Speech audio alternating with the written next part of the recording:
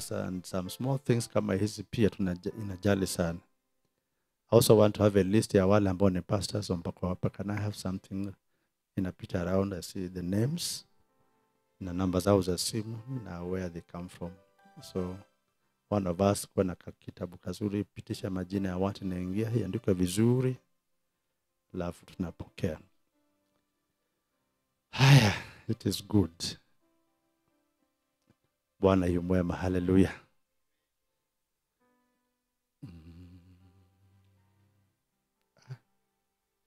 I thought I saw people in church when I was inside here. the other time pastors alikuwa anafanya kuwabariki. Walienda west kutafuta nguo. And i think leo pastor Muguna ame- ameokoka. The other time you were with pastor mulanda mulienda kutafuta samaki huko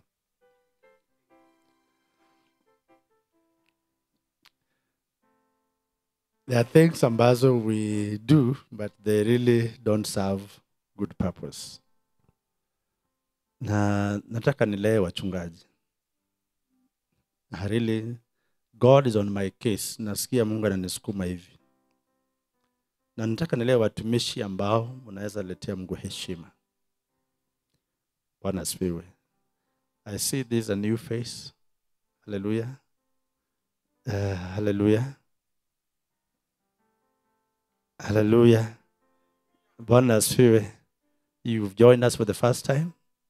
Oh good. I saw you by on a diff- different attire. Oh so it is you. From siaya okay. Haya yesu ni bwana. Nataka tusemezane kama wachungaji.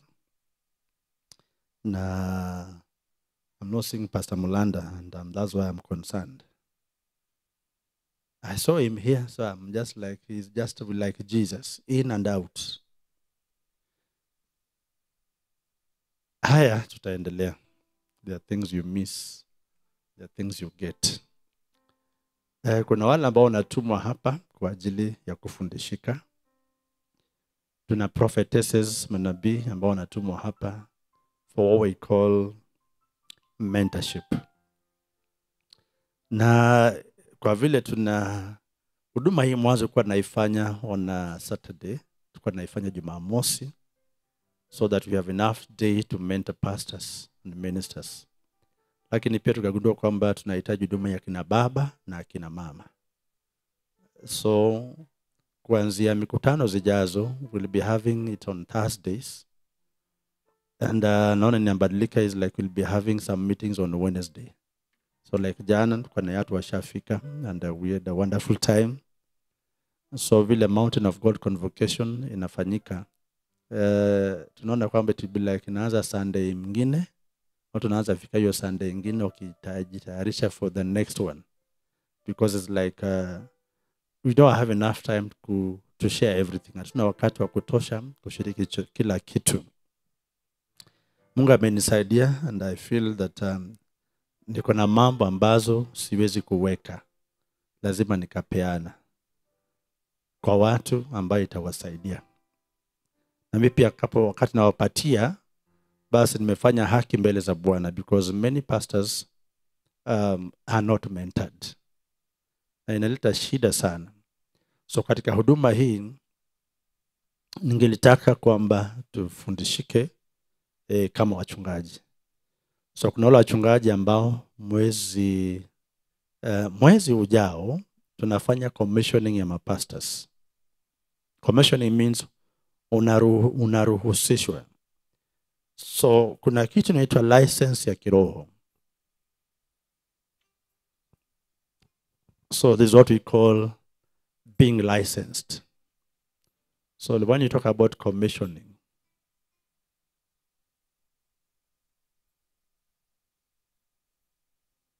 so commission ni kwamba you get a license unaruhusishwa. Una-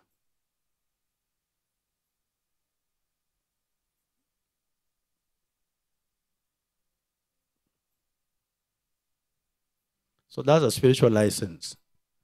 Kuna watu hapa ambao mna huduma lakini kiroho unapingwa. Unaweza fanya huduma ukagonjeka. It means kwamba eh, katika ulimwengu wa kiroho. Japo una huduma hapa lakini ulimwengu wa kiroho pale haujapata idhini. Ulizaliwa na huduma ndio lakini sasa katika ulimwengu wa kiroho ni kama dunia hapo nawambia na wewe e, tuambie nani alikufanya nani alikupea mkono uwe pasta na itakusumbua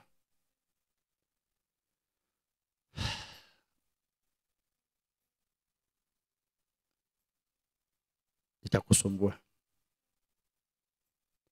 So imefanya watumishi wengi wana wanateseka kwa huduma.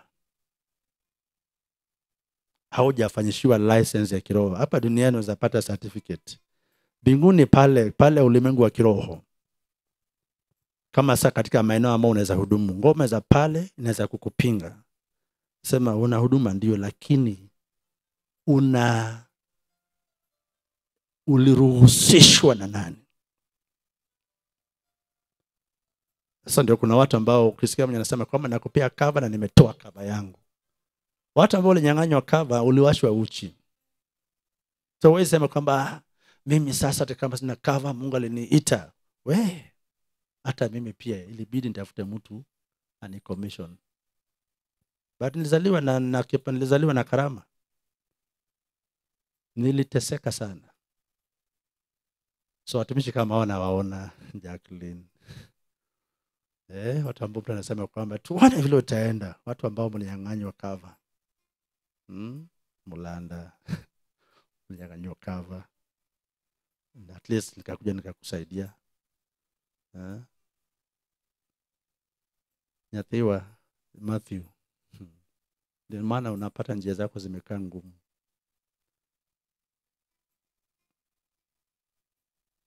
and it could be also emma you suffer the same problem. You. I wish i would be seeing your faces. Kaa hapa mbele. Aopo ujavaa nguo fupi. Ukivaa nguo fupi utakuwa naibu mbele. Aopo umevaa long dress. Mamama if I'll be, kama ndakuwa na kumenta please pastor wote wanawake vaa kama mwanamke wa heshima? Nguo zako zote shona huku alafu unatembeanga na kikoi just in case. Haya bwana asifiwe. Kama wewe si pasta hapa na unakula vitu ya mapasta kwanza kubehave kama pasta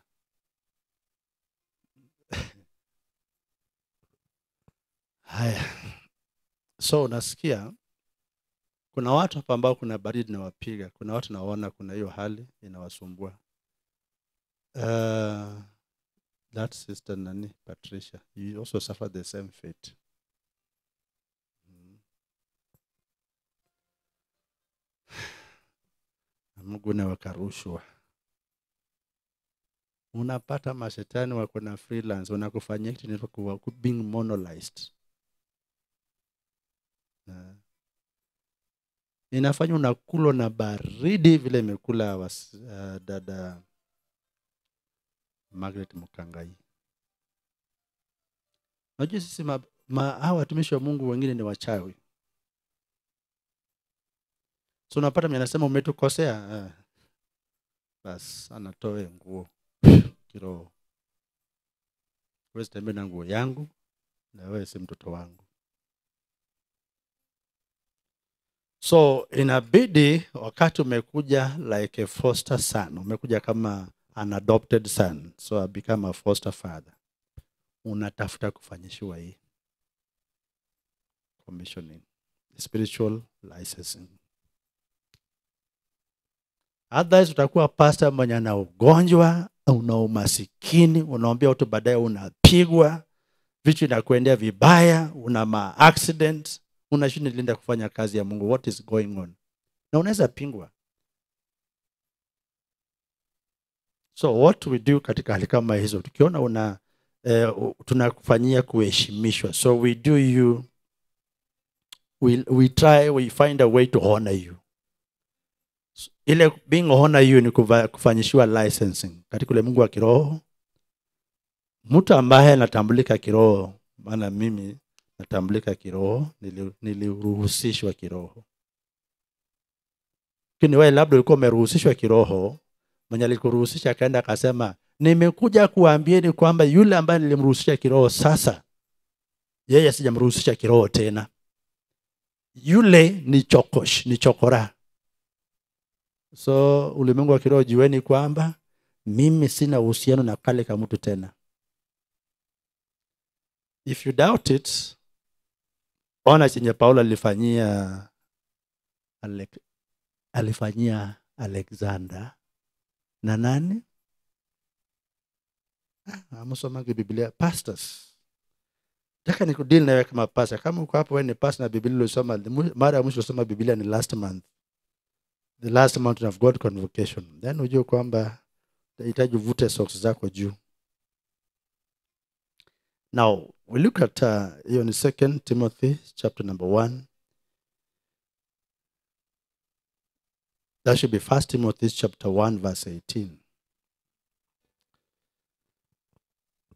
uh, verse number 20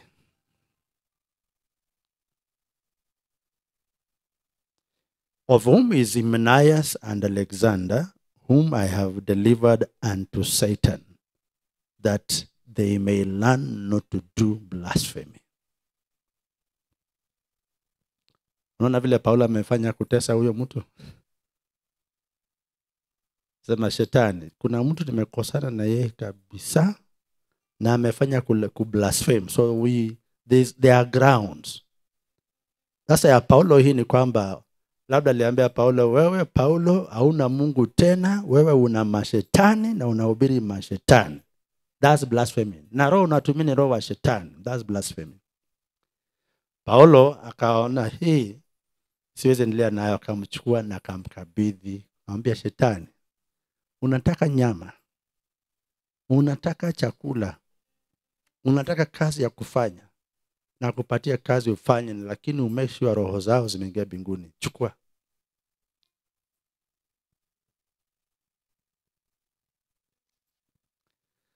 Sasa nimepea mfano ya biblia. Haya wewe egadhogos ni mlifanywa hivyo. Mliuzwa kwa shetani kuwatesa sasa mwenye aliwauza yeye si wa mungu. Huyo mwenye alifanya aliwatoa nguo. Kwa vile hawa hawakuli na sisi tena tumewatoa nguo. Sasa mabaki nyinyi ni watu uchi. Aki mko wengi. Mko wengi. Please be seated. No amen. Ni hivyo hivyo ulipata kama tunaendelea sasa uh, at least umepata yako nime- yenyu nimejua. So huwa tuna katika ulimwengu wa kiroho tunaruhusishwa. Huwezi zaliwa tu useme mimi natural nizaliwa kuwa prophet. Unatokea. Uh-uh. lazima kuna mtu anakushika mkono anaenda kwa uwanja wa kiroho. Anasema sasa mimi kwa vile mnanijua nina mafuta nina ruhusa ya kuhudumu nina mtu hapa namruhusisha na namtambulisha kuanzia sasa kwamba huyu ameruhusishwa na nimemweka muhuri mimi kama mtumishi wa bwana. Atafanya kazi.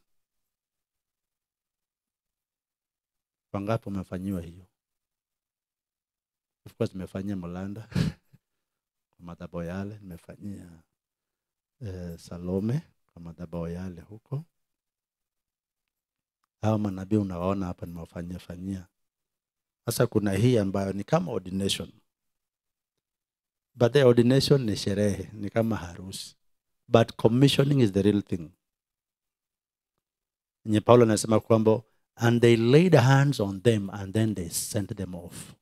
Kuwekelewa mikono na wazee wa kanisa alafu wanafanya nini? Those of us here the presbyteries wanakutuma so wa, wakati amini unafanya huduma lakini hujafanya kufanyiwa hiyo utakulwa na baridi ya kiroho. Nyarwa nyarwa means our, our, our girl or our daughter. Nyarwa e, kiriko Hasa please zoya ndakuwa nakuta tu hivyo. Mi nakuta na jina ya kienyeji. So wakati kale kamadhe ulikosana na yeye. Akaambia na oh, basi mi pia natoa wewe kanzu yangu kiroho. Akakutoa mavazi. Sasa uko uchi wa kiroho. So hiyo inafanyika hata kama ulikuwa unafanya na ma, wale watumishi ambao wameharibika. So baba mzuri wa kiroho a good spiritual father who mentors you anaangalianga kwanza una nini baadhi kama huna huduma kwangu wewe si faida sana. Mimi napenda okay chenye nimeitiwa sana ni watu ambao aidha una karama una ama una mwito na karama mwito ama huduma. Hawa ni watumishi ambao ni faida. Mtumishi ambaye hauna kitu eh, mbona tuvutane na wewe? Why should I follow you so if there be something kama kuna sababu inatufanya tunakupigania vita is because of what you carry. Na kama kuna sababu shetani pia atakupiga sana ni kwa sababu ya kilo umebeba. Kama vita vyako ni kali then jua number one shetani ana kisasi na wewe maana kuna mali mlikosania. And number two anaogopa your manifestation apokalupto anaogopa kudhihirika. Anaogopa we kutokea. Maana ukitokea kuna vitu ambazo yani ukitokea utafanyika tishio kubwa sana e, kwake na kazi yake. So shetani anasema waikeni yeye katika hali ya kufinyiliwa siwaitokea. So kila wakati you are kept in check kept in check. So kama umebeba karama huduma mwito na talanta. Vitu hivyo ni vitu ambavyo mtumishi kama mimi hata kama sura yako ni mbaya sana siku hata kama yani hata kama unakaa yani namna gani. Hivi ndio vitu ambazo sisi ambao tuko upande wa mungu tunaangalia sema huyu tuokoe kwa sababu ya vitu wenye amebeba haleluya and that explains why kuna watu ambao kaambia mungu eh, kwanza nilisikitika sana na wewe eh, spencer. Nikasikitika sana na wewe nikasema wewe mungu. So mapigo yako mengi ni kwamba uh, uh, adui ameona kile unacho. Lakini hujawahi ruhusishwa na kuidhinishwa utokee katika mungu wa kiroho and that's why to follow some people kama kina hawa nyako ni mildred. Mpaka kwa hospitali.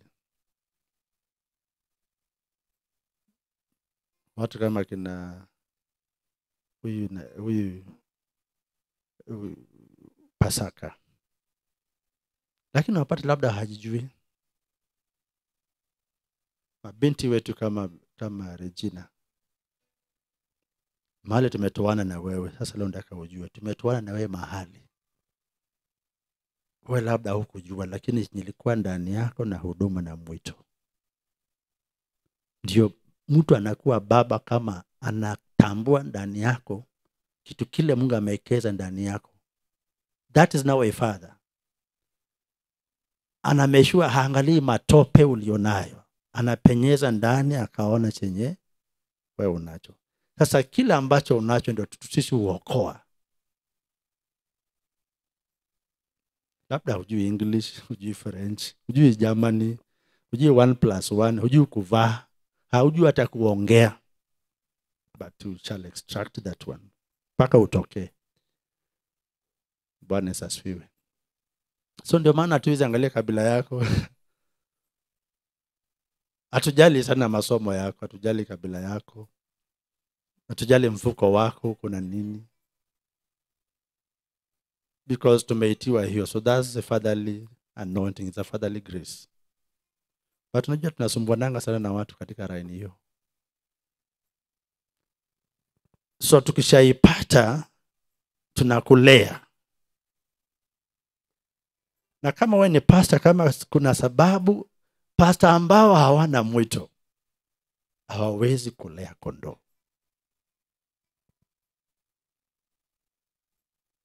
watumishi ambao hawana mwito hawatajali kondoo.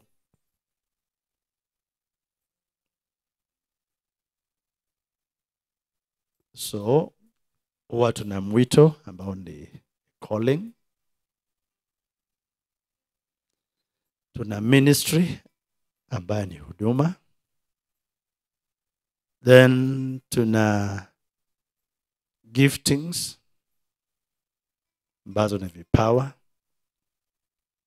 Alafu tuna talent ambazo uh, ndizo vipawa.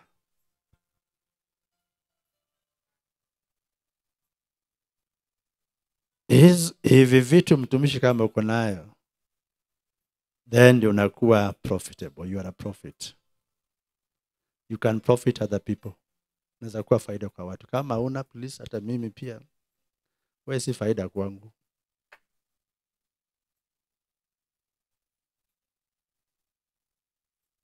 Sasa jiulize una kitu ama hauna.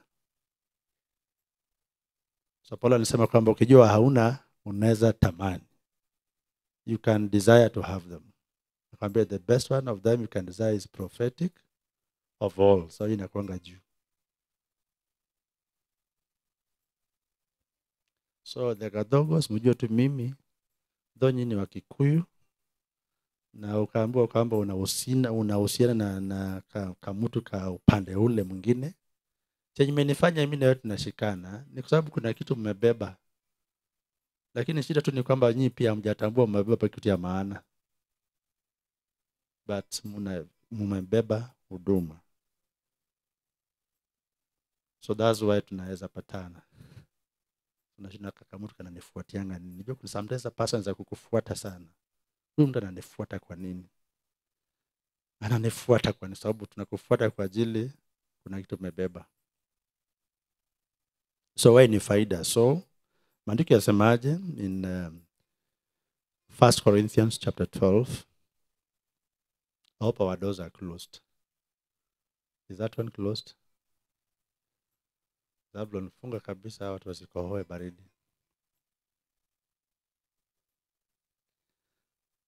So matendo ya me- mat, eh, wakorintho wa kwanza sura yake ni kumi na mbili naamini mstari wa saba.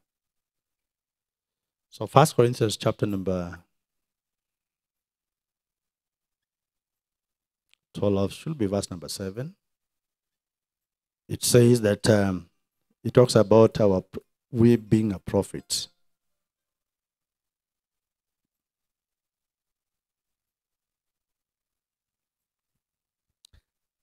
So sinaona mimi hapa na wafaidi because ni vipawa niko nazo. Na niwamine kitu kingine if you ever follow a servant of god so i'm not saying if you ever because already you are following me. Fuatanga mtu kwa sababu ana kitu vitu ambazo tunaongelea ni vitu hizi ni utajiri. Ana mwito ana huduma anazo karama kisha anazo talanta ama vipawa.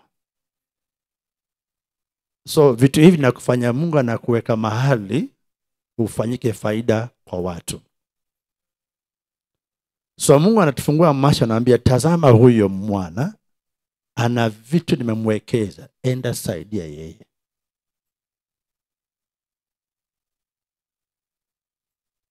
So kwa mungu ni faida kwa shetani ukiwa na vitu hivi ni tishio. So when i mean uh, on um, uh, uh, uh, upande wa mungu if it is on the size of god you are a prophet but, but if it be well, I mean, uh, on the side of the enemy the enemy views you as a as an i mean uh, as a threat. So what will the enemy do? The enemy atakushughulikia sawa na mtoto musa. Mtoto musa alikuwa uwawe shetani akapanga vile auawe. Maana musa alikuwa hatima ya watu wana wa israeli.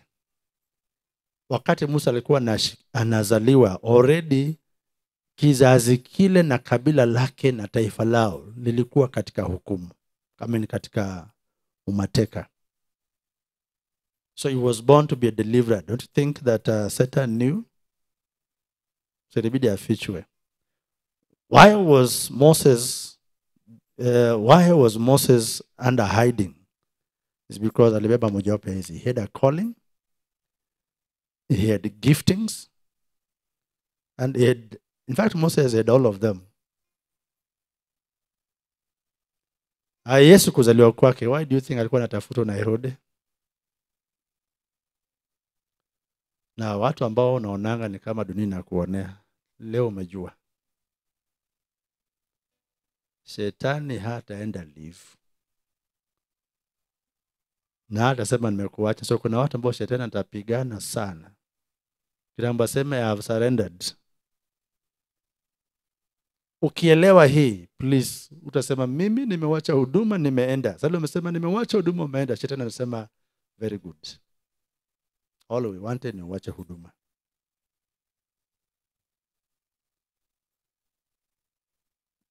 sasa ukiwa na hizi uta attract opposition.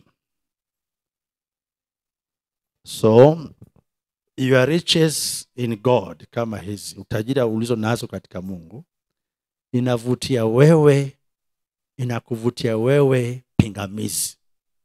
Inavutia pingamizi. Pingamizi kutoka kwa shetani utapingwa kila mahali. Nilipingwa. Mi nilikuwa nakuja nikikanyaga area hii. Mimi mpaka nasikia mapepo wanashuka mpaka kwa hewa wale wakubwa wanasema hatukutaki eldoret. Walikuwa wanashuka mpaka kwa anga principalities. So nikawa na mbinu ya kuingia town. Nikiingia town sipande gari. Natembea nikifanya fellowship na mungu ndo niingie town. I knew my battles. Unachukiwa mpaka na bishop unachukiwa mpaka na wachungaji. Chungaji watu wanaingia wanasema wanaongelea ndio maana nispendi hizi makanisa ya kabila moja. There, is, there will be not a single day ati hii kani- hii kanisa itakuwa kanisa ya one tribe. Hakuna. Mi napenda kanisa mchanganyiko. Yaani nilikuwa na teso laini moja mpaka nasema eh, yani nakuita ni nimewahi ikiwa mpaka kiketi ambayo imevunjika kwa madhabao nikakaa sema leo ataanguka aibike kwa si kabila yetu. Nimekaa na bwana akaniambia onyango kaa hapo hapo. So nilikuwa naambiwa kwamba kiketi umetegwa so naambia angalia mguu naangalia basi nakaa na style. Uweki u- u- yako yote kwa hiyo kiketi. Maana majua hii kiketi ilitegwa aina mguu ya nyuma utaenda ukirukanga huko nyuma. Niliteswa sana nimewahi ombewa maombi za, za kinyama. Kuombewa. Mpaka nikaona nikaona bishop ameniombea maombi nilinyeshewa na choo. Nikaona tu mavi. Nimefunguka hivi kaninyeshea mavi kama shawa nikaona mpaka nanyolewa nywele na bishop. Kaninyoa nywele. Nikajua wa why? Nina hizi zote. Nilikuwa nimewekwa hizi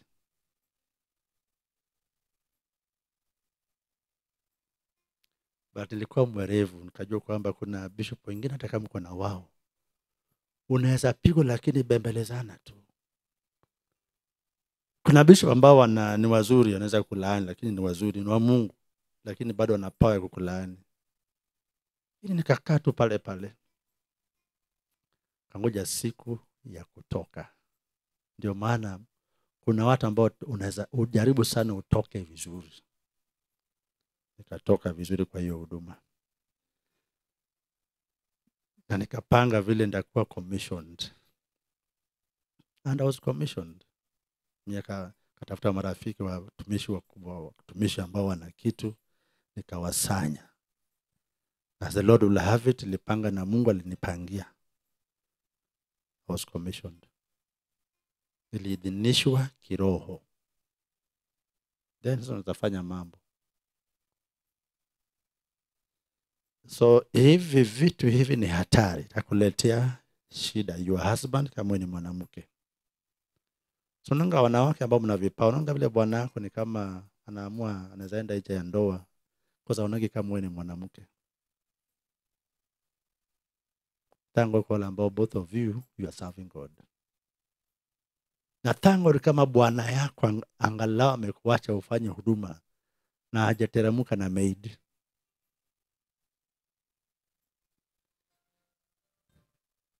these ones. Utapingwa laini zote za hatima ndoa biashara pesa afya. Afya tu yani uwe na afya. So laini hii. Unaweza unaweza haribiwa familia because unakwaje mhudumu ambao unataka kuhubiria watu lakini wewe mambo na familia hauna kitu. Mtu anaweza sema na wewe in fact pepa anaweza ingia mtu aseme na wewe sasa ndaka unajifanya unanitoa hapa? Na wale ambao tuko na experience kutoa mashetani anarusha maneno anasema kwanza wewe mm, hata una ndoa bwana yako kwanza tuko naye kwa kilabu hapo unajifanya fanya. Pepo anaongea. Sasa naambia pepo shut up. Kuna vitu vingine ambavyo tunaambia mashetani usiongee hapa. Because inaweza aibisha mtu but pepo atatumia msingi ya wewe kutokuwa na ndoa.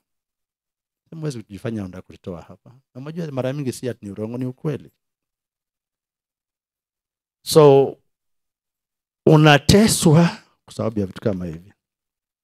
So katika leo watu wengi watumishi ambao hawataongeleshwa hawatatiwa moyo unaweza amua kutupa sema hizi vitu zonazo hata ni bure so wakati umesema vitu hivyo ni bure unaingia katika ghadhabu za mungu ambayo inaitwa profanity so you're no longer a prophet but rather you become profane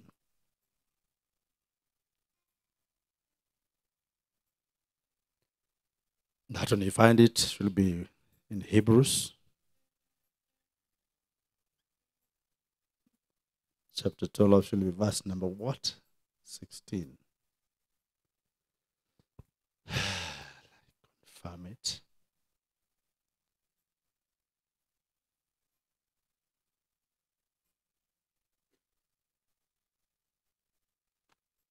So Waibrania sura yake ni kumi na mbili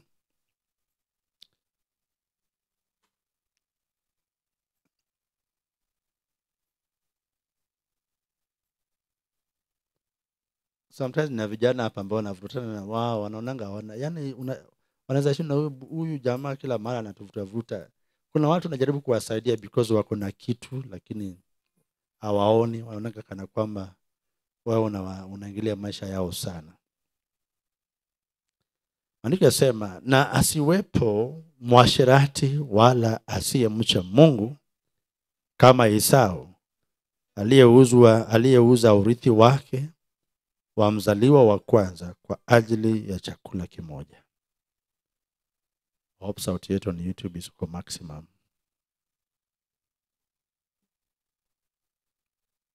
So mfano wa esau aliuza u, u, aliuza urithi wake. Ukiuza hizi vitu then you lose identity. So when you sell these things, then you have sold, you lose your identity.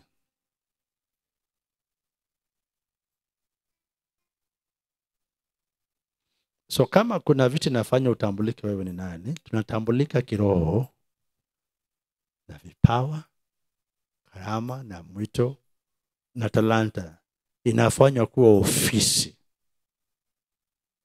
It's not a title.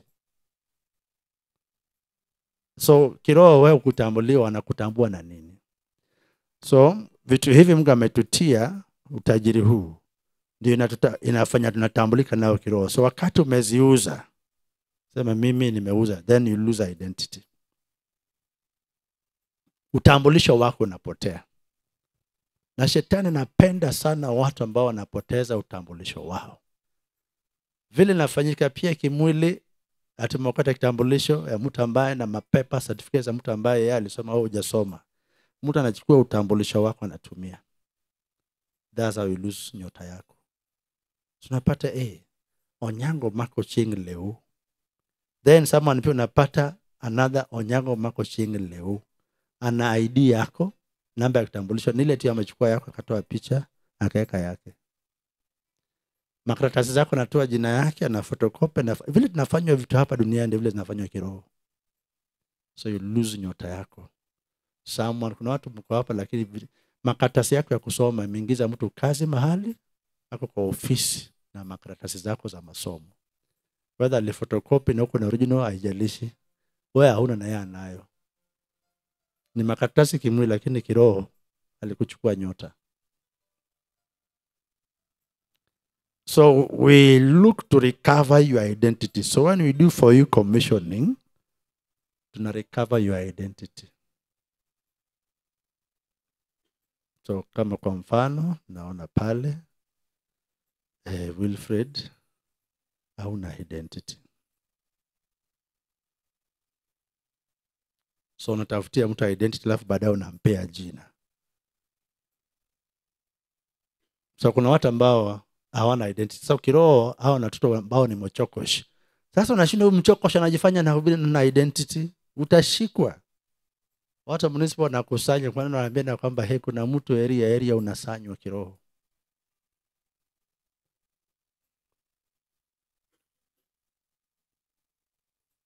so when you lose identity is because ulidharau mwito wako.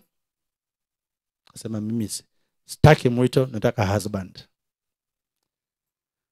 Haya akasema mimi hata huduma ni bure hata kuna haja nijifanye kama naweza hubiri. Hizi vipawa pia tezi za maana sana. Talanta unapata mtu ambao unaweza chora unajifanya unaweza unajua kuna watu wanaweza cheza mpira ni talanta vitu kama hizo alafu unajifanya kwamba hata hizi vitu siwezi kunilisha. You forfeit this. Unaamua kufanyika kitu kingine. You lose identity. Ukisha lose identity nani atakufuata? No one will follow you. So hapo ndio mungu amewekeza huduma ama ofisi za watumishi ambao wana mafuta ya baba. Akutoe katika hali ile so waliharibu identity yako matthew. So they corrupted you. Umoja umejua ukicorrupt hata kama una utajiri sana ambie nani? "Ati mi mi ni tajiri wapi? Ambia wacha jokes. Ambia you know you are a rich man. Ambia wacha.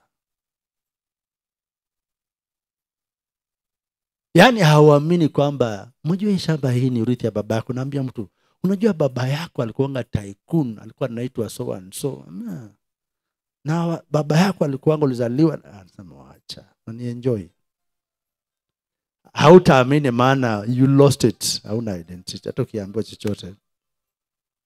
Ambia nyumba ni yako ambia hapana si yangu. Ambia wewe ndio onyango original ambia hapana.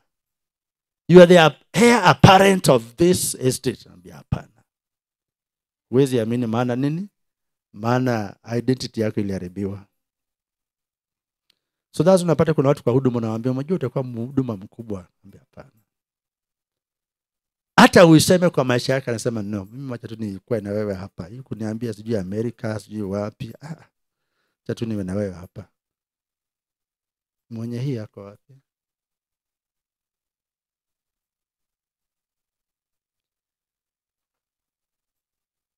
she ought to be naona na mwito naona na mwito haya bwana yesu asifiwe. Utakuwa tunaweza kuwa na button ukifinya hivi nalia huko. Mtu anaambiwa anasikia kuna kakengele kameguzwa mafinya tu mahali na kakengele kana na bado kuna zingine huko kweli naona watu wakikuja hapa kota za kuja retreat wanalala kulala.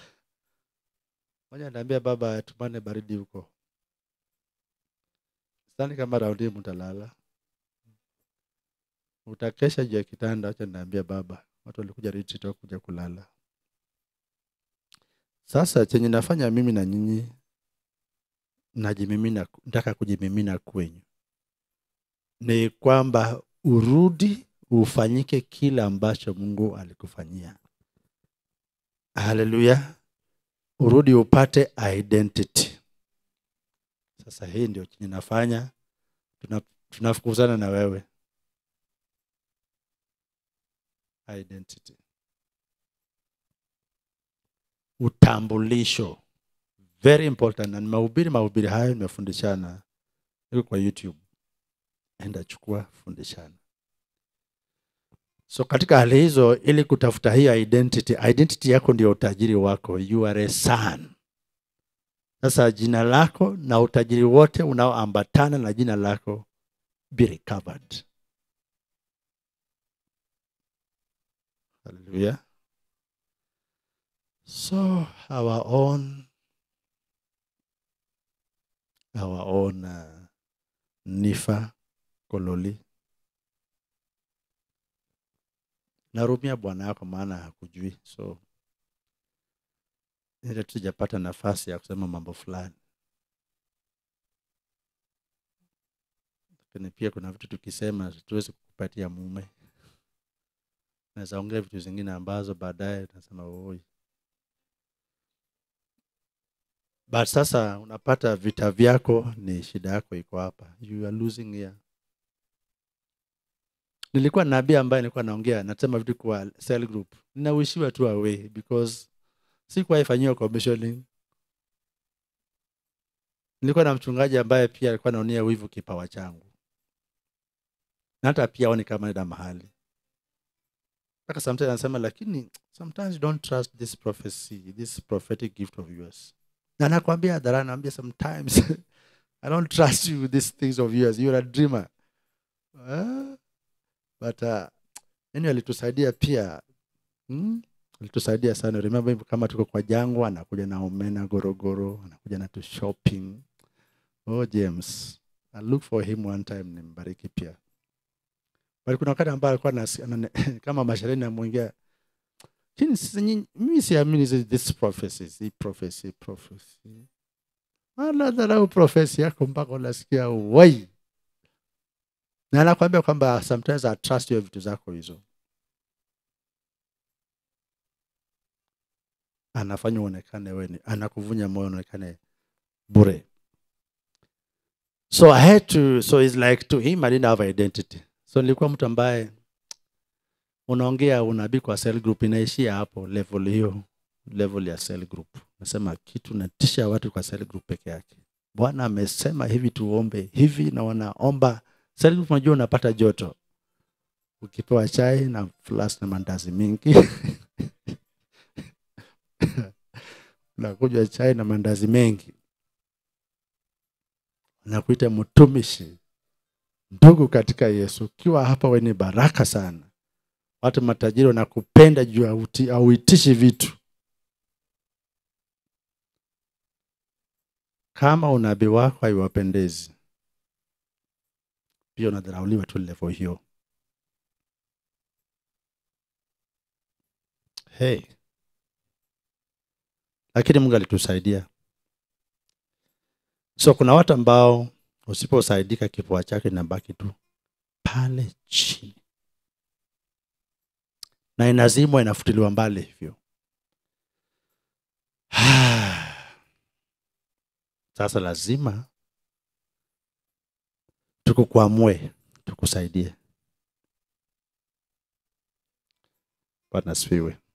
So ni bidii yako mwenyewe ujijua wewe ni nani. Na mtu ujijua yeye ni nani katika kristo. You discover who you are in christ. So the quest for your identity you dig it you mine it in christ. Huwezi jijua. Hautajitambua nje ya kristo.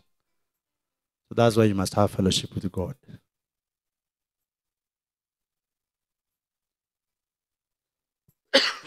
Hautajijua hadi pale umefanya ushirika wako na mungu. Unazamu kujijua. So like i got to know who i am paul says i know who I am. So we know who we are in Christ Jesus. Ni vibaya sana kuwa na watu kanisani ambao hawajijui. Ukiwapea vitu ya maana unajiuliza ni kwa nini umetupea vitu hii? Ukienda nao mahali unashinda mbona unatufuata fuata? Because hmm. they don't know who they are. So watu ambao wajajui hawa shetani anaweza kuwachukua na watumie vibaya.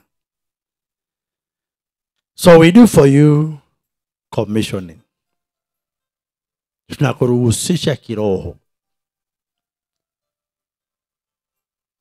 Huwa ni it is a spiritual exercise but can also have a ceremony.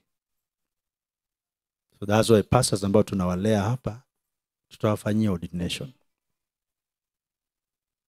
So mwezi wa nane ambao kulingana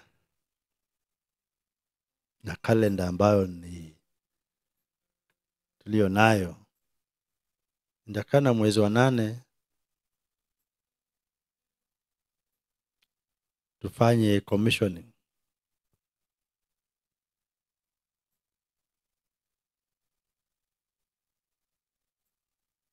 yeah.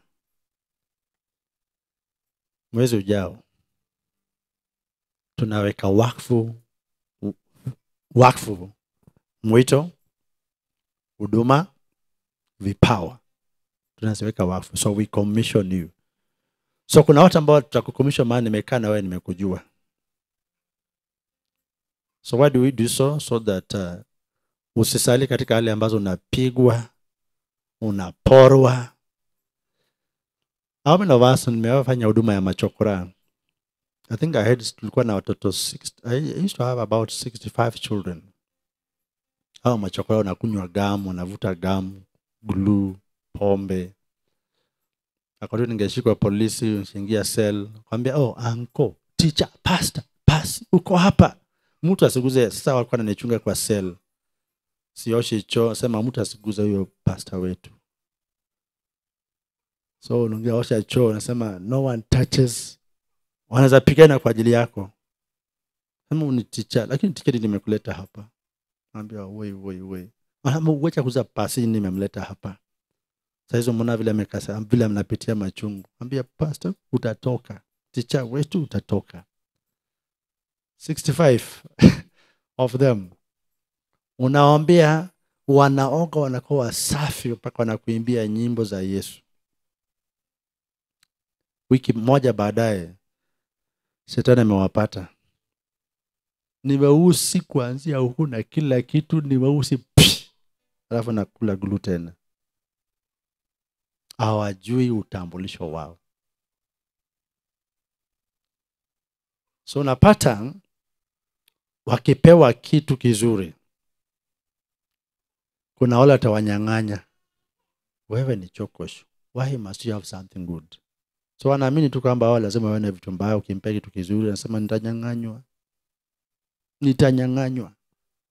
Ungenipea hii lakini nitanyang'anywa. Na it is true.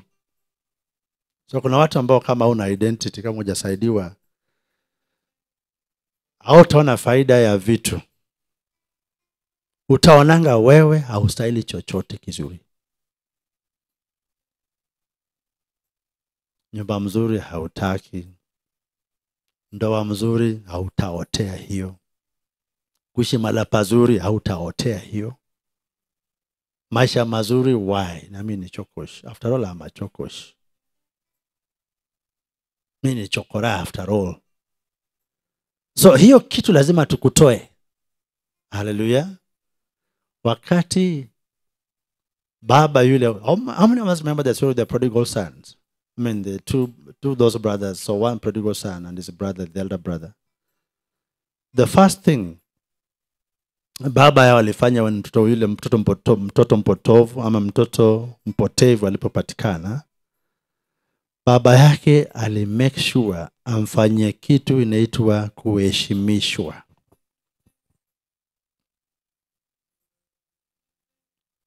Heshimishwa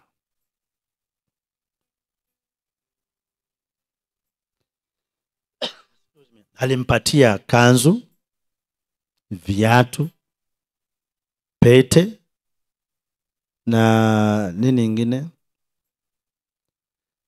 So alimfunika hivyo. Na akamfanya ajisikie kwamba yeye ni wa maana.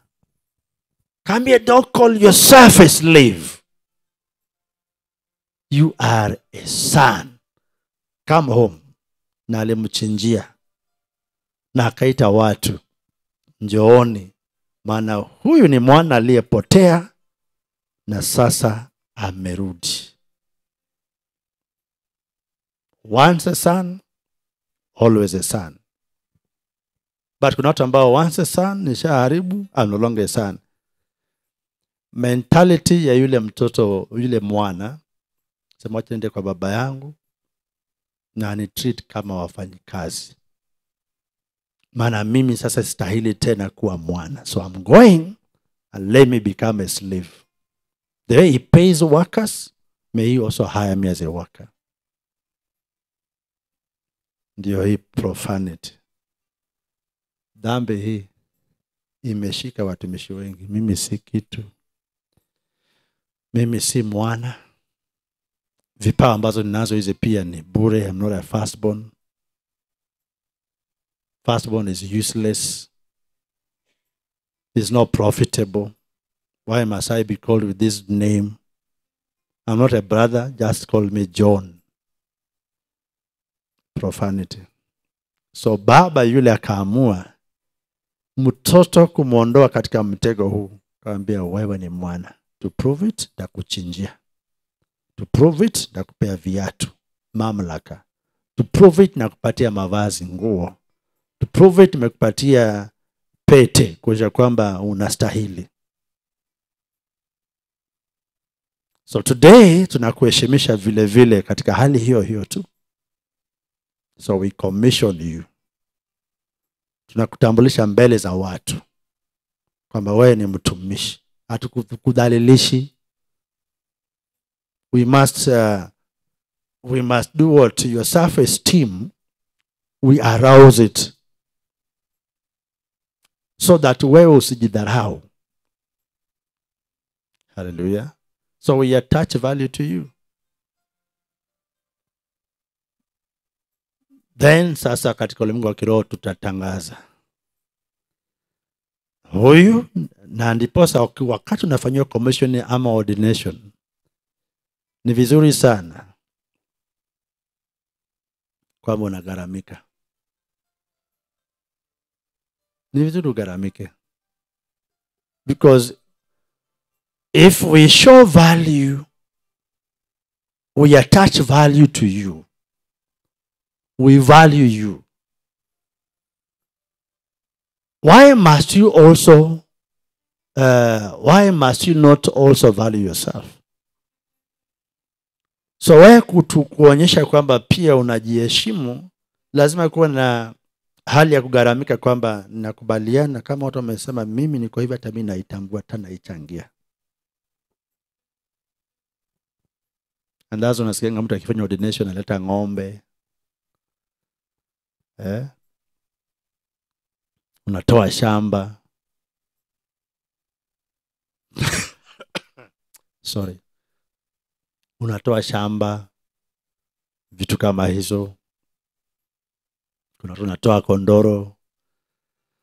But uh, yeah weka uzito place weight and at- attach weight. To that which you carry. Calling ministry giftings talents. Then pia ulimwengu wa kiroho itakuwa na uzito haleluya kukuheshimisha kuna watu ndoa zenyu ziliharibika ama ndoa zenyu zina viraka ndoa zenyu zinanuka kuna watu ndoa zao hazina identity. Tunatafuta njia ya kukuheshimisha. So what do we do? To dedicate your marriage. Wale ambao ndoa yako at some point uko mbele. We hope that we'll have an opportunity to dedicate your marriage kuheshimisha ndoa yako vitu hivyo viwili ni muhimu sana. Kuheshimishwa ndoa na kufanyishiwa eh, kuheshimishwa ndoa na kuwekwa wakfu huduma. So this commissioning is also like coronation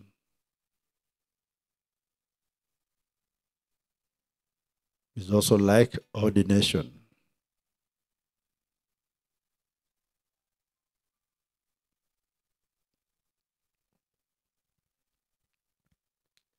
So naomba mimi na wewe tuwe na uhusiano mzuri. Maana this one should come from the heart. Takana itoke hapa. Sema huyu ni mwana ninamfunika namweka mkono nakataa apingwe so kiroho tunakulinda nani anaguza fulani? So ukichokozwa na mtu ukichokozwa na mtu unakimbia kwa baba yako. Ama shule unatafuta ule ambaye ni your, your bodyguard wale ambao shule ulikuwa na ukikuja na shopping kuna mtu anakula shopping yako. Big boy. All of us ahead, did you have? Hata nilikuwa na because shule tulisoma shule na watu ambao ni wakubwa. Tulita shule na watu ambao wanavaa wana ndevu na wameoa anavaa kaptula. Ana mizizi kwa miguu na kwa mikono Eh? alafu kama ni wanawake wala mtoto kwa nyumba kasichana kana katoto ananyonyesha anakuja shule. Kuna watu walikuwa watu rui sana. So ukiwa na mandazi chapati vitu mzuri mzuri unawagawia. So in case unachuna na mtu ambia hey, agwenge. Kuna mtu pale ananisumbua. Agwenge anaenda naambia hii nani alikuwa nakuambia uguze? Nagwenge nashika mtu ambia usirudie kitu kama nasikia nitakumaliza.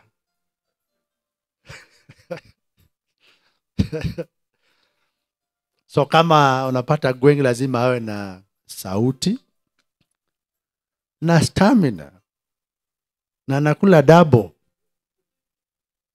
kipoa chakula nakula raka yake sana na ngoja usimalize yako maana lazima utapee. So agwenge alikuwa namaliza yake haraka alafu unajua kwamba itakana maliza yako sawa. Unakula half unabakishia gwenge napitishia gwenge mi wanga kwa kitu wangu wangu alikuwa kitu majina kama hayo. So wakati kiroho una, unakuwa molested ndio naambia apostle kuna prayer item naona kuna hali ambao nasikia nashindwangu na hali fulani. Please unashtaki your oppressor. Sasa naomba kwamba eh, utaniombea tuombeane In other words, niombee tu katika hali kama inasikia ni kama walikuwa nantetemesha yani I'm being bullied.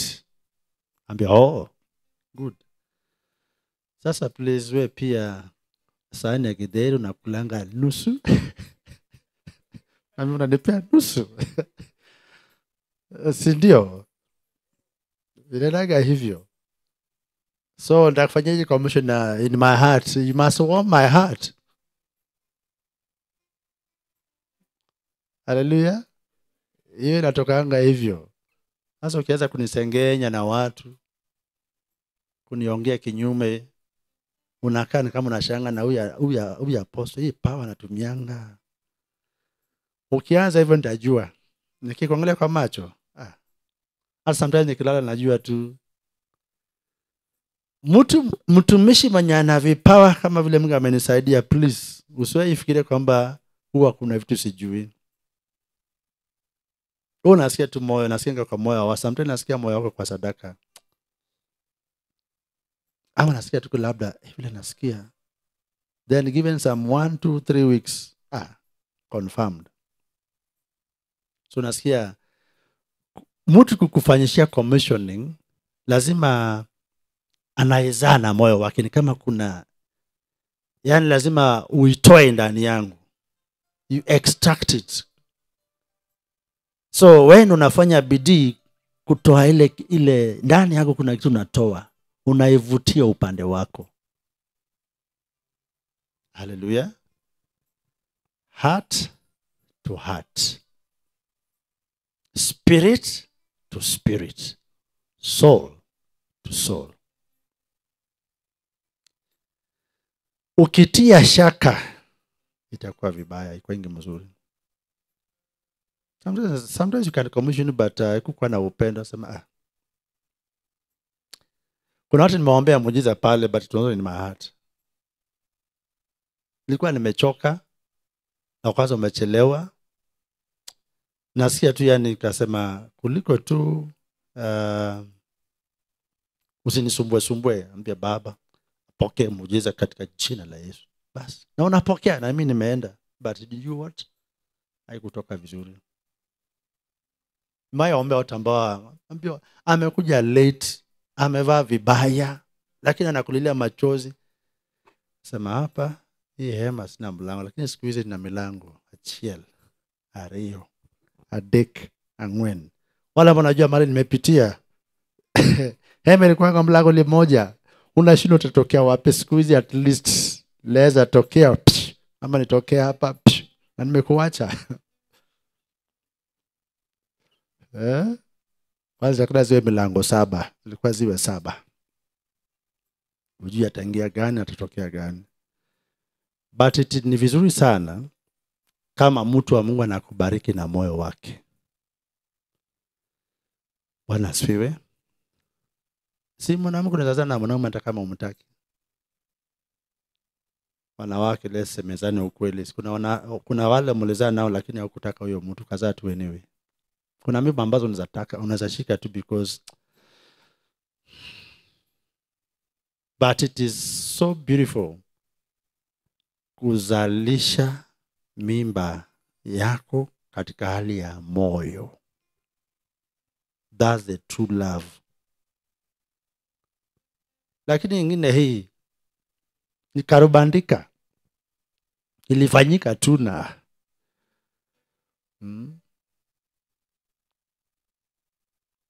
So when it comes to this one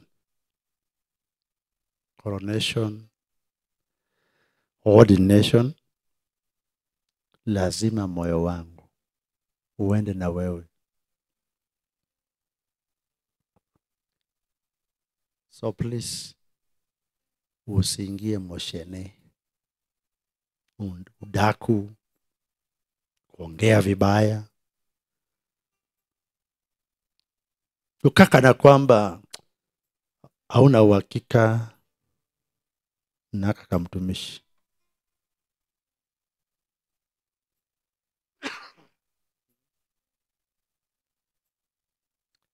So hapo pia si uangalie watumishi ambao nda kuweka mkono. Wako na wewe. So i want to prepare us for that one so tahadhari ambazo naambianga watu ukijua mtumishi ambao unapokea kwake please usiwajifanye wewe ni mkubwa wewe ni mnene wewe ni mjuaji kuliko yeye. Polepole mioyo yetu kunjana ikikunjana utabaki na baridi. Sasa kuna watu ambao nitawaitishia vipawa. Jimi, ningependa mapasta wote wa cover hii tukikutuma mahali anointing vile iko hapa una connect mpaka huko. Haleluya yeah. the same same way anointing iko hapa huko huko. But unaweza pata watumishi ambao ushawaambia hivyo anointing hivyo. Ah, saizi onyango kenkimoro hiyo si kitu sasa. Yeah. naweza ona vision. Na naweza ombea mtu na ana pingli pingli pingli punglu puf, mpaka huko. Hata without onyango. Kiburi. Pasa zote ambao wamefanyiwa hapa baadaye wametokea bure. Moyo wa mtumishi na uwe inakunjana. Maana mafuta iko na sauce so naomba hivi. Kama unajua ulitumwa hapa ufanyiwe mentorship cooperate kwa mentorship. Kama unajua Mungu alikutuma hapa ili ufanyiwe matayarisho cooperate. But all the time stay kwa unyenyekevu. Maana mafuta huwa inaisha nguvu na mafuta inaweza kosa uwezo.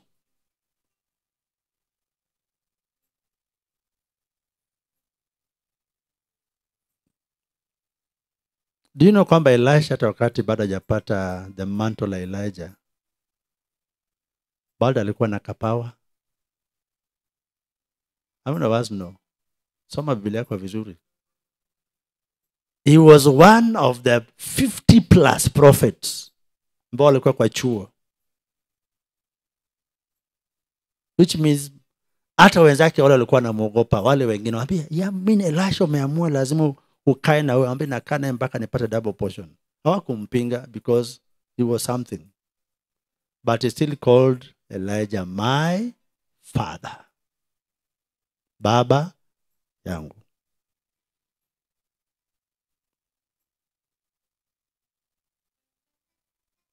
Unajua sometimes nakuwa tunakuwa na uchoyo kwa vipawa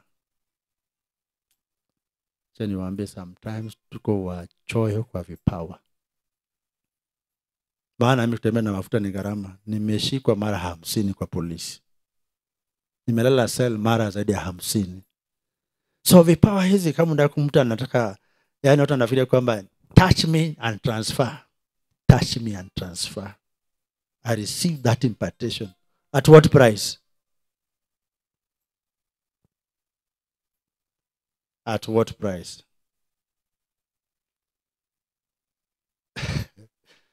Unalala mpaka miguu unaweka juu ya.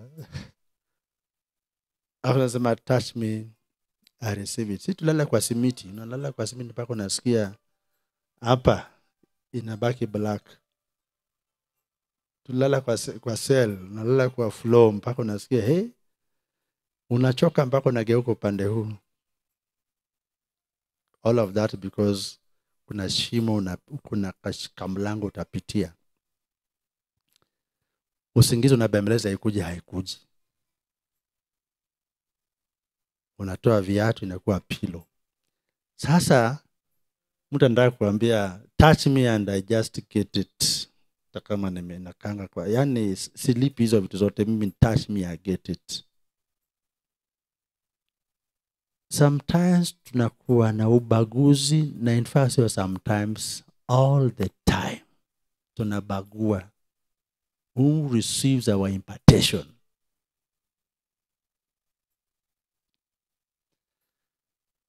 Leo nimewambia siri eh? leo nimewambia. Kuna kuna ile unapata because vile yesu alipeana alipeana muujiza kwa watu kuna ile tunaenda mlimani tunakaa kando kama sasa. Mlimani. Akawaambia wanafunzi wake hii ni yenyu spesheli. Ile ilikuwa ya umma public. So if you want something special then be also behave specially. Nitakuwa nawaangalia. Nawaangalia vile mnavaa nitakuwa nasikia mnaongea vitu gani. Takuwa naangalia your commitment ukikuja hapa. Your sacrifice. Takuwa naangalia.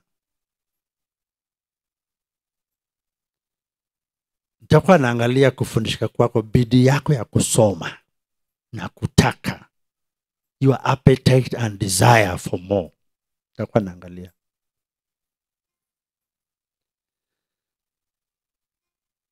Aya, bwana asifiwe. because there, there must be an uh, attraction. You must convince me kwamba you need to be commissioned.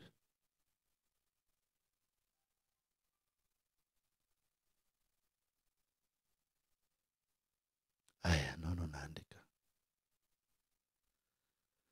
Aya, andika that one inatoka maana wewe.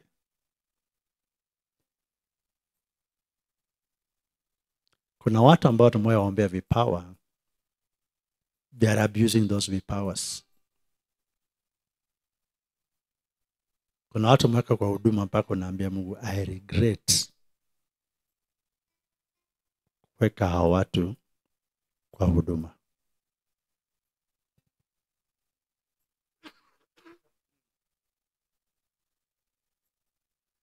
haya. Sikuwa na kahawa yangu moto hapa ningekunywa. Sasa wajamani sikizeni. Tumeanza safari na sitaki mtu ambaye atajipata kwa mapigo. Pokea mafundisho katika timotheo huu waraka ni wa pili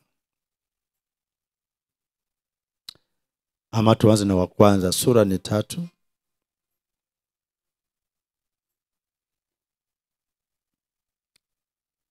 Angalia matakwa ya mtu fanyika mchungaji. Vitu kama hizo.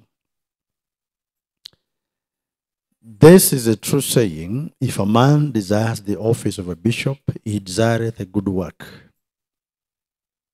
A bishop then must be blameless the husband of one wife mambo na ndoa. Vigilant sober of good behavior given to hospitality and apt to teach. Apt to teach. So kama unataka ofisi hiyo kama mtu ambaye anatamani ofisi ya skofu basi ametamani kitu kizuri ama kazi nzuri so bishopry is work. Bishopric is work. A bishop then ama askofu basi asiwe mtu ambaye analawama. Mme wa mke mmoja.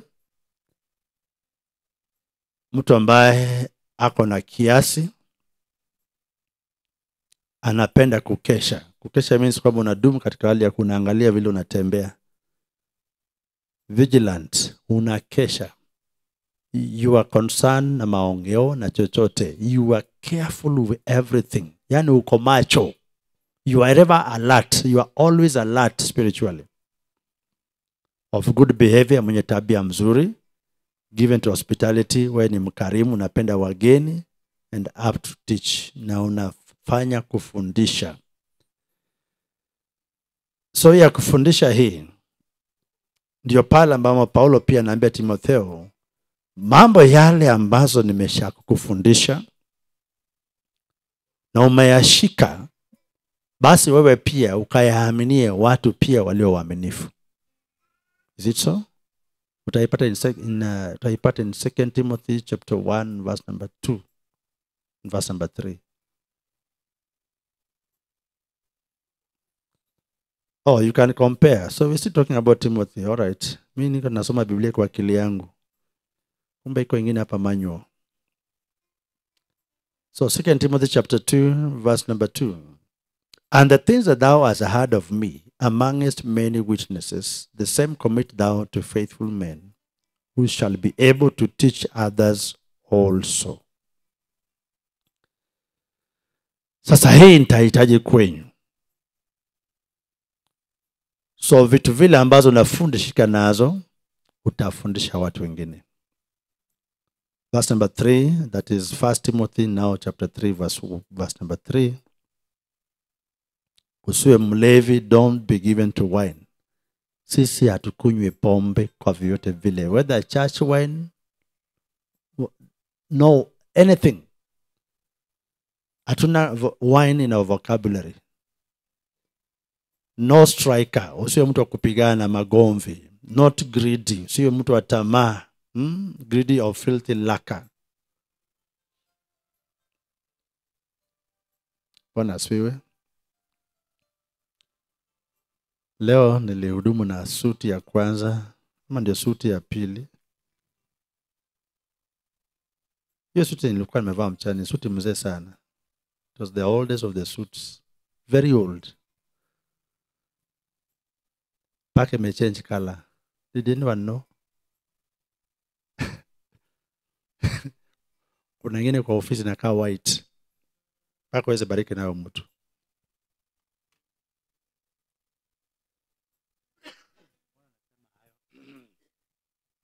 So why am i saying that? Taka nitie mapasta moyo hapa about mambo suti nimehudumu miaka mingi but I've never had suits. Hizo suti nikasuti kamama niliombea mama moja ambaye alifinyiliwa sana. Mungu akamwambia nulia huyu apostle suit. Mambo yake ya masters na kila kitu yani ilisaulika. three years ago alikanyagiwa kabisa kasahau. Kumwombea njia zake zikafunguka. Mungu amemnulia huyu apostle suti It was the first time mshirika amenunulia mimi suti. Naongelea filthy laka. Tamaa. Tulikuwa tunue gari tukakopa pesa.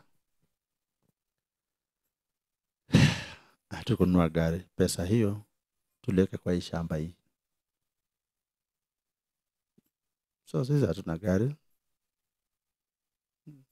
I don't own a. Natumiaga mataxi. Why am I saying that one?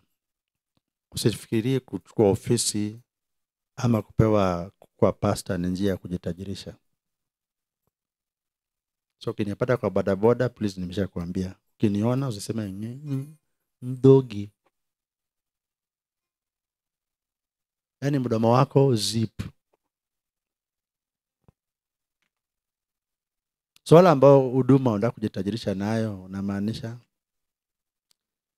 So kama eh, haya ndo matako kuna mali nawapeleka. Lakini maandiko yasema but be patient and not a brawler not covetous. Uwe mvumilivu usiwe mtu wa magomvi na vita na wala usiwe mtu mwenye kutamani one time kuna pastor ambaye nilikuwa nasikia vile naongea it was a pastor siku i think it was called pastor simiu nikasikia natoa ushuhuda vile mtu alikuwa anataka kuleta shida. Na alishikae na akadil na hii Just na- physical so ikaonekana kana kwamba well that sounds like a bravado nasikika "Ah, huyu ni mwanaume kweli miaka mingi baadaye that thing bado inani- inanikera. Pasta anafanya vita physical. Alafu baadaye anajigamba nayo. Well kuna mapasta kama ao na wazee wa kanisa kama ambao wanachukua pasta wanasema pasta hautatuhubiria tena wanakubeba from here beba wewe kuna wazee wa na kubeba pasa, amebebwa longi yake akinararuka napelekwa nje. Anaambia naambia sasa hey, assistant pastor kuja hapa. Tumekuweka hapa uhubiri. Kama kuna mapasa unazafanya vitu kama hizo please umko disqualified. Na the thing ni kwamba utakaa kwa jangwa miaka mingi mikono yako ishe nguvu ya kupigana iishe hata ukislapiwa unajipata hoi ungeslapu lakini unasikia mkono imekataa. Bado nataka uwe kwa ofisi tunaendelea. Haya. Number four one that ruleth well his own house nyumba yako naiongoza. Having his children in subjection with all gravity hasa kwamba unaiongoza nyumba yako na unaielekeza vilivyo. Pamoja na watoto wako pia unawatiisha katika utiifu. Abrahamu alifanya hivyo wababa nimewafundisheni mambo haya katika genesis 18 verse number 19 mungu alikuwa na ushuhuda wake abrahamu god will give testimony about abraham. Swali hapa ambao unatamani kweli ni kuaminie mafuta in case mungu anauza maswali huyu ndio leka mafuta? Mungu aniulize swali hiyo katika hali ya kujivunia nimefurahi uliweka fulani mafuta. Lakini sio unaambia unyango huyu ndio uliweka mafuta. Asiwe ni mtoto not a novice so ha- hauruhusiwi hapa kama mambo zako na familia na ndoa ushuhuda wako ni mbaya. So ndiposa kila mtu ajitahidi kushuhuda mzuri. Kama wewe ni mke wewe ni mke wa mtu please vaa kama mke wa mtu. Haleluya kama ni mume wa mtu please onekana kama mme wa mtu. Sio hapa pasa unatokea hapa na t-shirt na jeans How many of us know this bishop? Anita bishop wa house of grace. Yeah i happen to have seen this bishop kwa hata kwa tv na kwa magazeti. Hey, huyu kijana huyu bishop amekataa kuzeeka. Kati kashfa ilifanyika kashfa i was not surprised.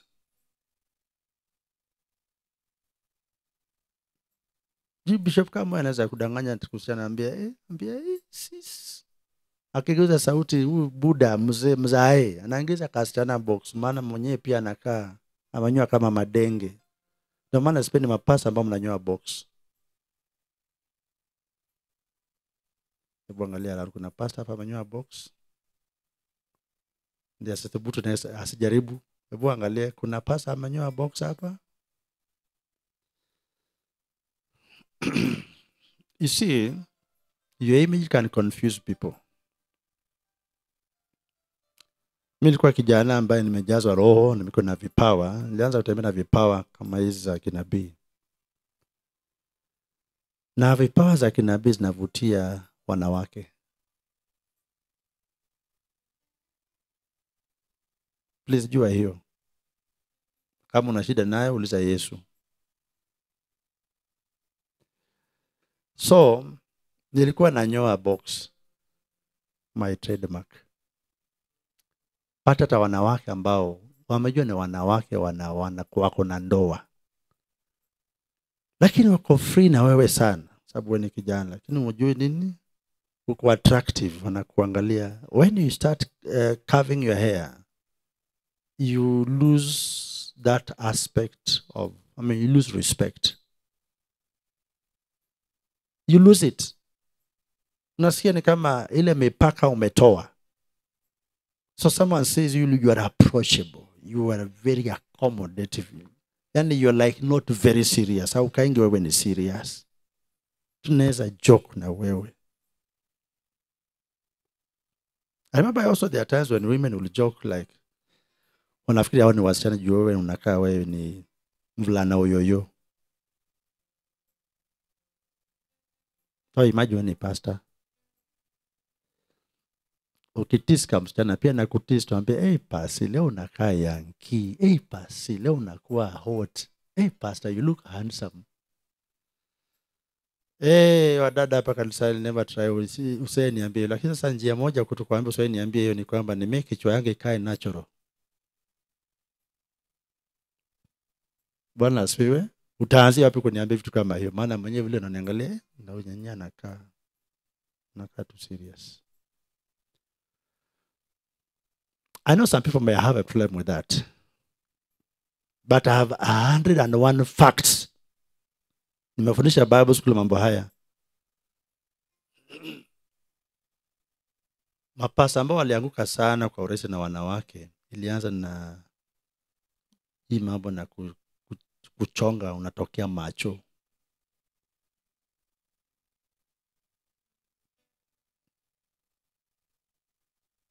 haya bwana asifiwe so ide- be who you must be.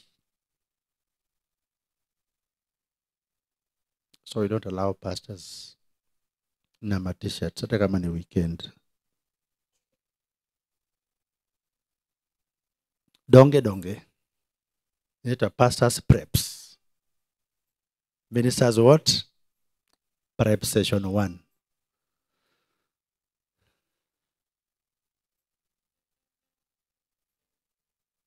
so naonanga wadada ambao wadada kama nguo yako bado we ni we ni aminis lakini nguo yako bado unang'ang'ana ikutoe shape. Sasa ukianza kuzejarate kuna mali penye watu wengine watakuwa serious na wewe huyu pastor wetu. Na the grace you carry ndo the grace unamiminia watu kanisani. The grace you carry the grace. Mi nilipoanza kuvaa ni- kuvaa tai naonanga wale ambao nime, nime wame- wameshika roho ile ninatumika nayo wanapenda kufunga tai. Wanapenda kuvaa vizuri. So wakati naona wengine wamekataa kutokea vizuri hivi na kuuliza na wewe ni mbegu ya nani? Wewe ni mbegu ya nani? Haya let's go back here. So by the way pastors usiwe unaweza comments you want to be a good pastor? Usi wapi pastor moses? Hayuko leo. Anaambia ah, huwa ananif- ananifurahisha sana huyu pastor moses. Amegeuka tikiti ya ndege mtu amrushie ashike kwa hewa. Ambia I've landed so nawambieni hivi usi don't exaggerate. Hata maneno. Be very sensitive kwamba kuna watu kanisani ambao you can either break their hearts or encourage them so ili hata tunafanyanga kama pasta mzuri please. Pasta mzuri jua kwamba tu in africa. Usitushikishikie mke wako kwa madhabao kwamba nimeoa na I'm blessed with one wife and my beautiful queen. And and tafadhali vitu hizo hatufanyi kwa madhabahu.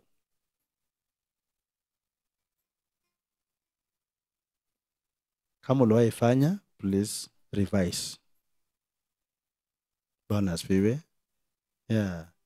It's not, it's not, it's not bad ku, eh, ku yani kuna mipaka ambazo naheshimu. just some people romance their wives on the pulpit here. Eh, unashika una squeeze yeye. Yeah, alafu unasema alafu nataka kukisi yeye hapa. Please si mlikuwa nyumbani? Na simnaishi pamoja? So what are you showing us unaonyesha watu nini? Haleluya yeah. Some of you can embarrass your spouse. So kuna heshima ambazo tunafanya kwa madhabahu ambazo ni stahili tuyashikilie. You have a wife we know introduce your wife mimi niko na mke mmoja nashukuru mungu ametubariki. Full stop. Don't tell us kwamba hey niko na mwanamke the most beautiful wife on all the face of the earth. Ni urongo. Kuna wanawake warembo kuliko huyo wako. So wanawake pia don't allow your husband to flatter you that way. Baadaye nyumbani nawambia na sasa wewe ulikuwa unasema vitu gani hiyo? So kunazo kwa madhabahu, kuna vitu ambazo tunaangalia. Haleluya so pamoja na hayo please wale ambao you katika ile kwa commission. When husband unavaa mzuri pia valisha watoto wako vizuri jaribu. Then valisha pia mke wako vizuri. Which is the responsibility of a man. Those are things unakuangalia nazo. If you can't care for your wife how will you care for the church? Usijifanye kwamba hapo napenda watu na nyumbani kwako mke wako hujaonyesha kumpenda. Kupenda kupenda familia yako onyesha mahitaji zao unajitoa kwao. Then what you've learned in your family you come do it here.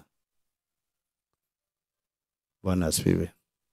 So wamama ambao unajua kuna wamama ambao wama, uh, please wamama ambao mna all pastors wives look, listen to this. Kuna kitu ambao mapasta wa wanawake mnafanya. Wageni wakikuja mna you overdo kulisha wageni.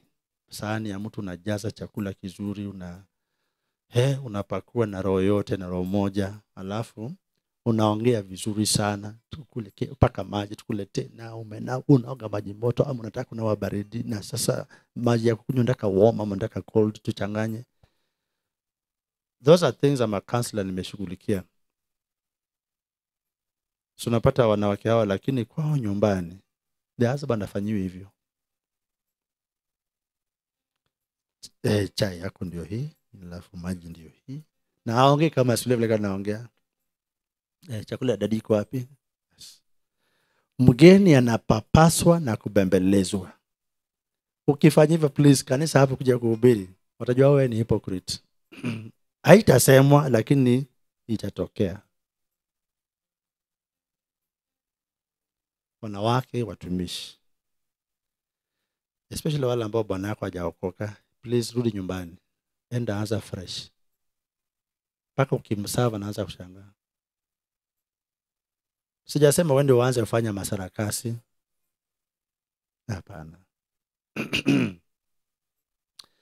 So always kumbuka kwamba wale ambao ni you're a woman minister na uko na mume hata kama hajaokoka treat him like somebody worthy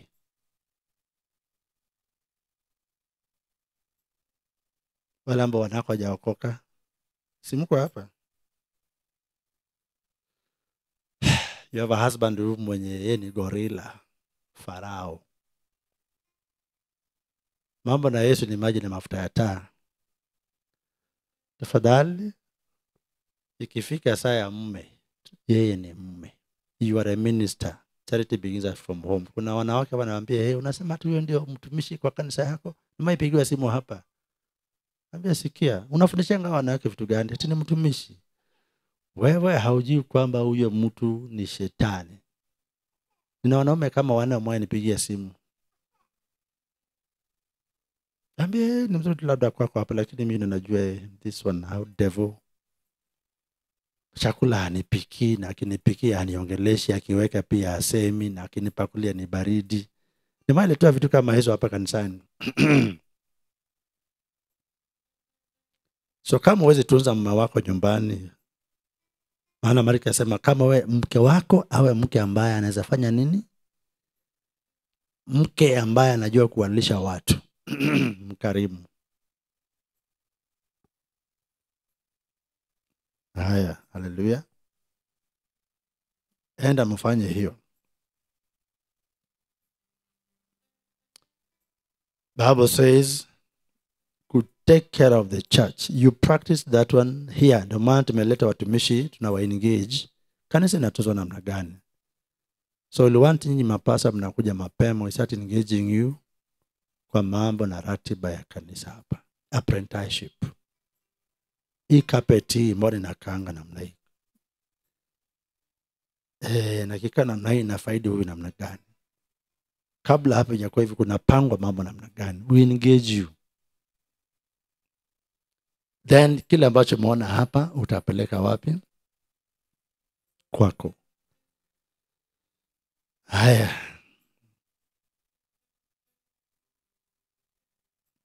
Then uh, mstari wa sita. Not a novice lest being lifted up with pride he falls into the condemnation of the devil. Asiwe mtu ambaye hajakomaa ambaye kiburi inaweza fanya akaanguka eh, katika mtego wa shetani so we mature you in church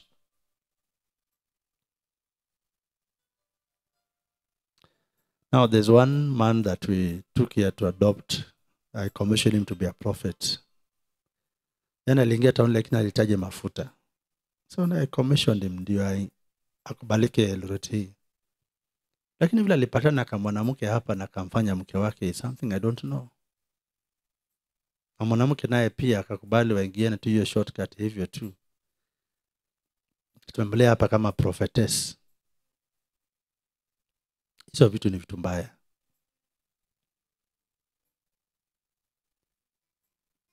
Sio vitu mzuri. So lazima mtu akomae. So that ukichukua one of us ya mtumishi kumuoa, tusisikie ripoti mbaya kumuhusu. So tunakuivisha kwa madhabahu. So we take you through mentorship. Unakomaa. Ndio hii inaongelea. So kitambo tumekufanyishia kitu kama ordination hiyo, these things be in place. You must have a good report of them that are without. Yani kuna watu kule kijiji unakujua, una, una, una ushuhuda mzuri, not given to too much um,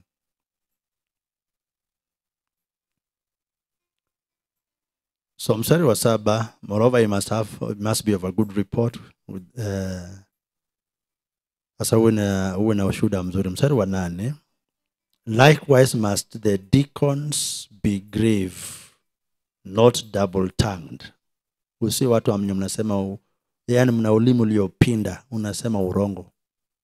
Not given to too much wine msikunywe pombe. Ni sawia tu na mapasta. Deacon na pastor na bishop wako laini moja. Haleluya then verse number nine holding the mystery of the faith in a pure conscience. Neno lake mungu nalihubiri na dhamiri iliyo safi.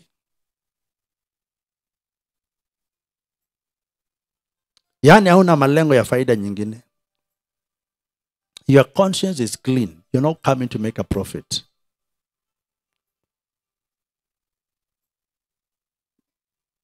and let this also first be proved. Then let them use the office of a deacon being found blameless. Kitambo tumekutia katika utumishi basi upatikane haunanga lawama. Neno la mungu unalitumia pasipo kufanya watu hila. Unaambia umeipokea ndoto za mtu ufunuo eh, counseling sessions. You don't use them katika hali ambazo ni kumanipulate mtu. Kwa mfano a mimi huwa na naono na watu sasa mtu anaambia sasa apostle nimekuja na niko na niko na na uh, 100,000 na sijui nianzie wapi na nifanye nini but have 100,000 sijui nifanye biashara sijui niweke wapi mimi najua mapasta ambao nimedili na kesi zao. Aliposikia mshirika amesema hey, 100,000 hey, niko na hata hapo kwa bag. Sasa mwambia weka kwa madhabahu kwazi ibatizwe na moto wa bwana. Na baadaye nimayepewa 100 mimi nimayepewa pesa ikawekwa ilala kwa madhabahu hapa. Ile pawa ya mungu iko kwa kanisa inichunge hiyo pesa. Na you know what? I accepted baada ya almost one week sema sasa nimekuja. Nafikiri ile pesa sasa imesafishika nataka utifanyia kazi. Pia nikasema oh nikaitoa. Kaambia ndio hii. Akaipata intact.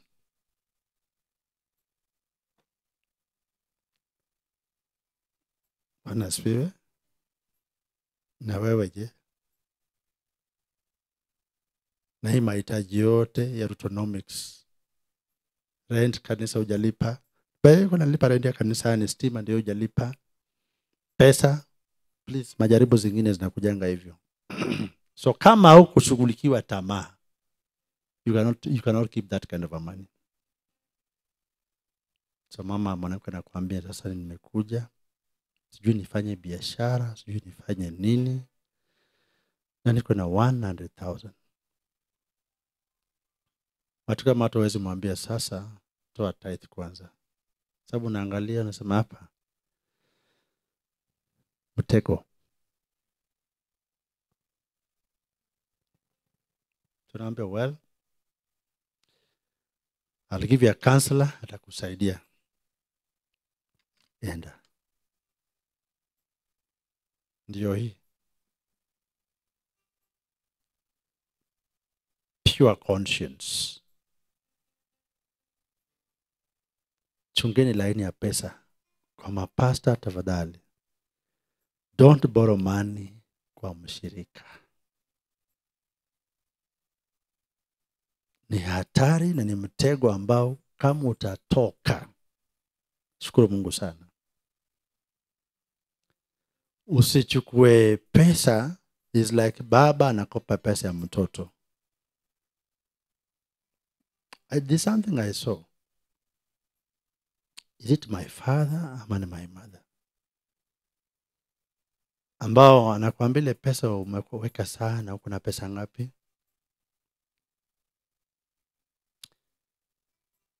Then naambia let me borrow hiyo pesa yako ifanye kazi sasa tutakurudishia.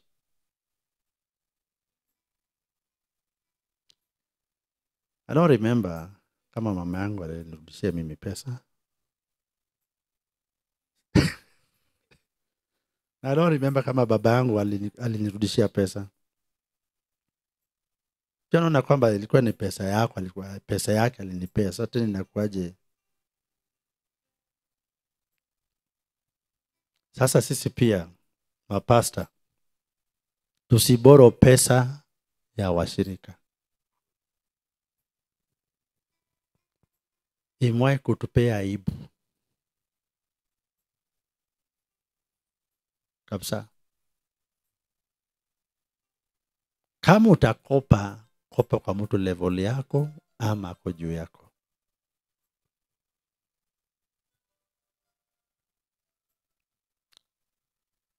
Haya, sasa pasa, tuna matajiri kanisani. Wewe wacha tajiri akupe pesa kanisani, tuko na ubiri hapa chenye nataka. I almost forgot that maana Mungu aliniweka niwaambie, hata kama una njaa sana, usibishe kwa mshirika akupe unga. Ah, believe God. Kama Mungu atawaguza waguza, walete, but don't enda kuitisha kwa mshirika. Tumekuja hapa, hatukukula jana, hatuna kitu, hata rent hatujalipa. Wewe ni sawa na baba ambaye anakopa eh, vitu ambazo alipea mtoto wake. We don't do so. Inakuharibia heshima. Takana hata njaa, mshirika asijue. Nimehubiri, tumehubiri, nimehubiri mara mwingi uh, wakati kuna mahali wakati tulihubiri miaka zingine ambamo mwenye alijua hatuna chakula tu ni mke wangu. Tulikuja kanisani, unapewa majukumu kanisani, unafanya na hapa hakuna kitu na nyumbani hakuna kitu. Tulikuja kama tunaamini Mungu chochote cha kitatokea. Inaisha lunch au mnaondoka, amini inaisha saa saba, kanisa imeisha Jumapili na unaondoka. Mungu ajaongesha bishop, hajamwambia kwamba watu wako chakula, then we just go. Mungu atatusort huko mbele. You don't tell watu walio chini yako. The only person you can share ni mtu ambaye ako juu yako. So many of us have borrowed from the flock. Watakuaibisha. Haya, Bwana Yesu asifiwe. So mambo haya ambayo tumewafundisheni muyaaminie watu waaminifu. So kuna kanuni ambazo tunazingatia so that we also commission you.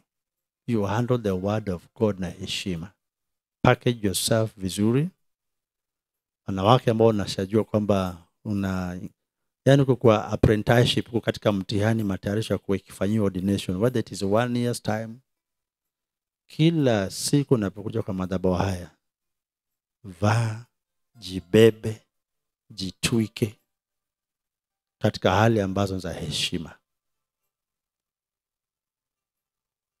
so wanawake ambao ni wanawake mapasta tafadhali don't make your pastors wa admire wanawake wengine kanisani kama unashona nguo shona nguo pia iko na test ni mrefu lakini sio iondhorewa yonda. Wamama watumishi bwana asifiwe. Yaani unaweza- shona nguo ndefu vile tunashona nguo mrefu lakini iko na style yake na test yake. Ama navaza mbona wakorino mona vile wanawake wanashona nguo zao ni mrefu lakini ziko na test. Wameziwekea ni ma pleats, pleats, pleats mpaka chini. Mpaka unashinda wa ni uniform. Alafu iko na iko na nini yake? Ako na headgear yake. Na they are proud of it. Wamama wetu wengine hapa kanisani wanafanya hata mabwana zao wanaamua kwamba hawaangaliangi. Wanashinda kitu kama baluni kabuti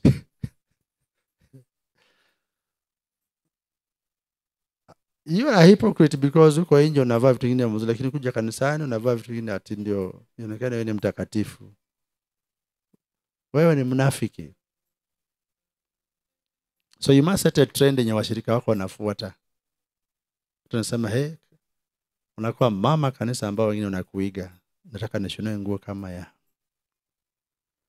mke wa pastor wetu nataka nitolee nguo kama ya mke wa pasa. so mke wa pasa ukiona tunashona nguo kama yako usione wivu. That means you've set a trend. So what will you want kanisa la- watu wanawake kanisa yako wavae? How will you want them to look like? But remember kwamba tuna maintain holiness and righteousness. So within that bracket kama ni nguo mrefu isiwe mrefu ambao kama upepo inakuja na inua tu because yenyewe imekaa kama kana kwamba ina upepo. Si chote kitu kizuri bwana asifiwe. Because unaweza sema tangu mke wangu aende hiyo kanisa oi onyango uliniharibia mke. You destroyed my wife. Mimi sijaribu mtu.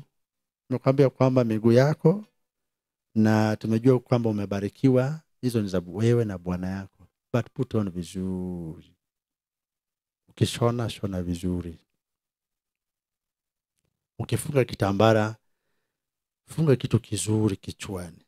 Machisha vile na machisha kala zako vizuri. Sisi si watu kina war sisi si wa korino haleluya we are none of those none of the above.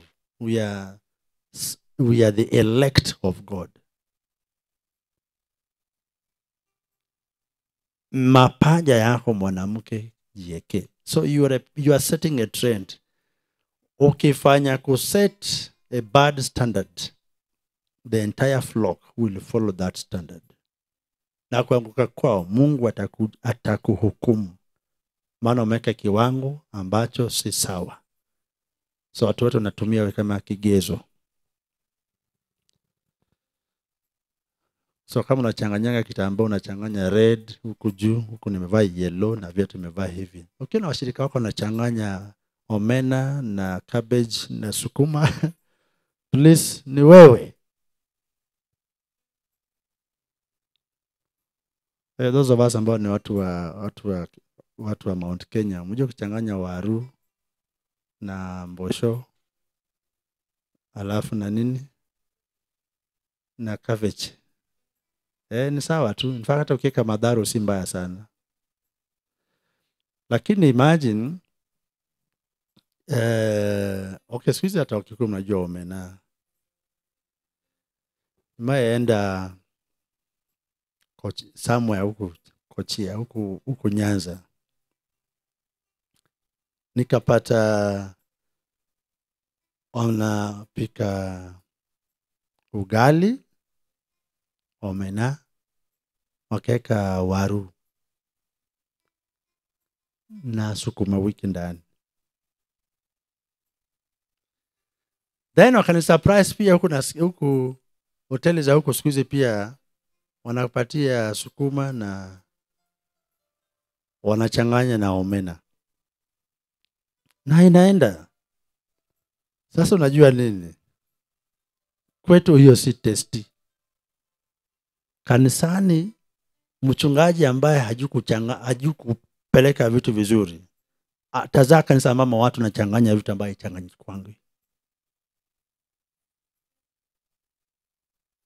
so wanawake hebu mujiangalie please. Observe around. Tuko darasa mapasta peke yao. Tupa macho around. That baadaye mnaweza hiyo ndio vitu mnaweza discuss baadaye. Sahii angalianeni. Hiyo haitakuwa moshene hiyo mnaweza discuss baada ambie nyii leo alinipata. Leo nilipatwa utapata wale ambao kala zao zinapelekana vizuri kuna watu kala zao zimekataa. Please eh, when it comes kuvaa roho mtakatifu anaturuhusu kupanga. Bwana asifiwe. Sema kwamba hii ni roho ati nilikuwa nachanganya tu hii ni roho. Roho achanganyange vitu so mbona nawaambia hiyo? Because mkikuja hapa you are an influence. You influence hawa watu. Si kesho ni friday mtawaona. Eh, sunday mtawaona. When you start changing nyinyi kama watumishi unaweza kuchukua standard unachukua nyumba yako itachukua the same standard huduma yako itachukua the same standard na kanisa kama utafungua itafuata the same standard. Kama kanisa hii inakuwa na ugumu wanawake kubadilika na mavazi is because kuna watu hapa ambao ungekuwa mshawishi so kama pasta anasema to change tuvae vitu zina match nao mapasta wanavaa namna gani? Angalia kitamba yake ni, ni, ni kala ingine ni black alafu amevaa white chini. Of course hakuna amevaa hiyo hapa tunapata mshirika na- mshirika nakuwa mgumu tuseme well. Chenye pasta naongea labda si ya kanisani maana hata mapasta si siria sana. So we become a bad influence. So let's be good of good influence. Haleluya so katika hali ya sisi kutayarishwa kufanywa wakfu na kufundishwa mambo na madhabahu mambo na kutumia neema lakini I don't have much time kuwaambia kuhusu vile neema inatumika. Neema ya mungu ikitumika hapa mungu hushusha neema kwa mtumishi wake. Sasa hiyo neema ikishakuja vile imekuja ukiruhusu ienende vile mtumishi anaitumia basi tafanya kazi na wewe. Ukianza kuenda style tofauti nayo unapata mtakuwa mnapingana so there's a way utaruhusu neema hii ifanye kazi na wewe. There's a way una cooperate. That nalitaongelea uh, mungu akinipatia muda labda jumapili nitazungumzia. Ama mentorship kama itakubalika asubuhi ya jumapili neema inaenda namna gani? Itazungumzia roho wa bwana anafanya kazi namna gani so nasikia wewe na mchungaji roho yenu inaenda pamoja. Ukianza kusikia wimbo ambao mtumishi alikuwa anataka kuimba ndio hata unasikia hata mimi nilikuwa nataka niimbe hiyo. Mko kwa laini? Moja. Nimewaambia nilikuwa nataka niwaambie na yenye nimebakisha naweza sema jumapili so that means tuna hali za kufanya nini? Kujitayarishwa. So tunakuingiza katika mentorship ili ujue roho yangu inafanyaje kazi. Ndio mentorship. Mentorship wakati nakwambia kuja hapa nataka kuomba na wewe ombea huyu. Like you saw during mchana nikifanyia nyinyi some of you. Nataka ni yani roho yako ingie kwa because chenye roho wa bwana amenipea vile anataka ifanye kazi anatarajia kwamba nyinyi watoto wa baba yenyu pia mwende style hiyo. So we take you then we engage you in an exercise kanisani. Takwambia kuja hapa. Eh, ombea huyu. What am I trying to do? Na activate ile mafuta uitumie vile mimi naitumia.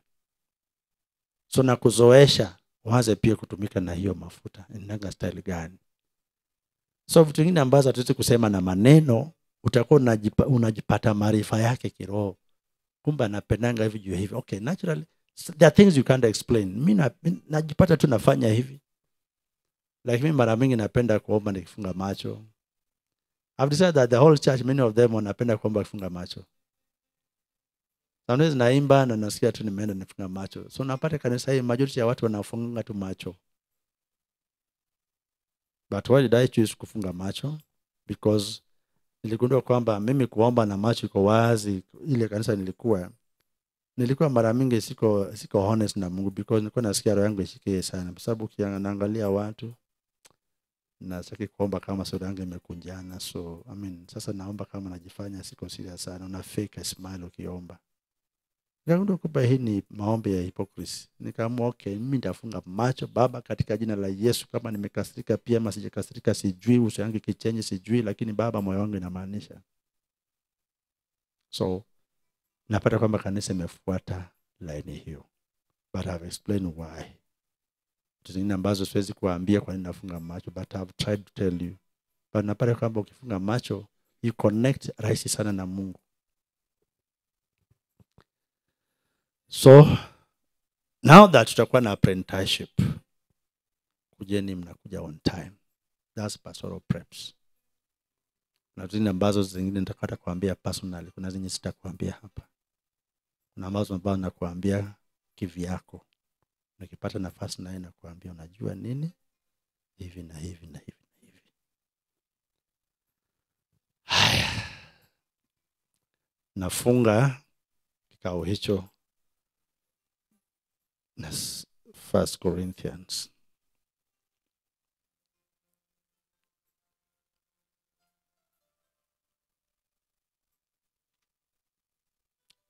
first corinthians chapter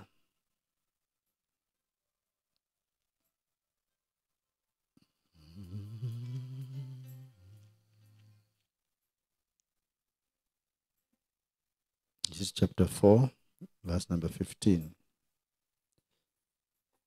For though you have 10,000 instructors in Christ, 1 Corinthians chapter 4, verse 15. For though you have 10,000 instructors in Christ, yet have you not many fathers? For in Christ Jesus I have begotten you through the gospel. Wherefore I beseech you, be ye followers of me. For this cause have I sent unto you Timotheus, who is my beloved son and faithful in the Lord, who shall bring you into remembrance of my ways, which be in Christ, as I teach everywhere in every church. I love vile King James Version huwa inatoa maandiko and that's why napenda King James Version. And then also because haijaharibiwa kama ma- sehemu zingine za maandiko it is always closer to the original meaning. Oh Kiswahili kwa hapa.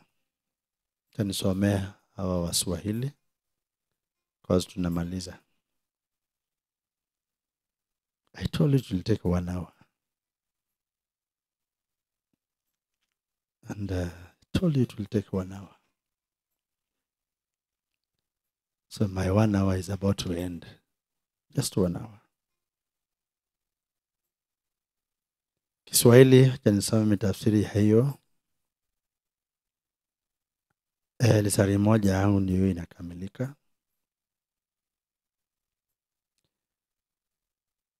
Aya Wakorintho wa kwanza nasoma tafsiri ya Kiswahili. Sura ni nne mstari wa kumi na tano. Hivyo anasema hivi kwa kuwa ijapokuwa mna waalimu kumi elfu katika kristo walakini hamna baba wengi maana mimi ndimi niliyewazaa katika kristo yesu kwa njia ya injili. Ndio nafanya na nyinyi sasa. That's mentorship basi nawasihi mnifuate mimi. Kwa sababu hii nimemtuma timotheo kwenu aliye mwanangu mpendwa mwaminifu katika bwana atakayewakumbusheni njia zangu zilizo katika kristo kama vile nifundishavyo kila mahali katika kila kanisa. Bwana asifiwe. Kufundishana katika kila kanisa so paulo anasema njia zangu. So mimi pia ninazo njia zangu. That means kuna njia zangu ambazo kama unaipenda roho yangu basi utaifuata. Maana ni njia zangu katika kristo. Now that is the essence of mentorship. Na wakati nakutia mafuta na kuweka mkono imagine yule ndakuwa nakufanyia impartation.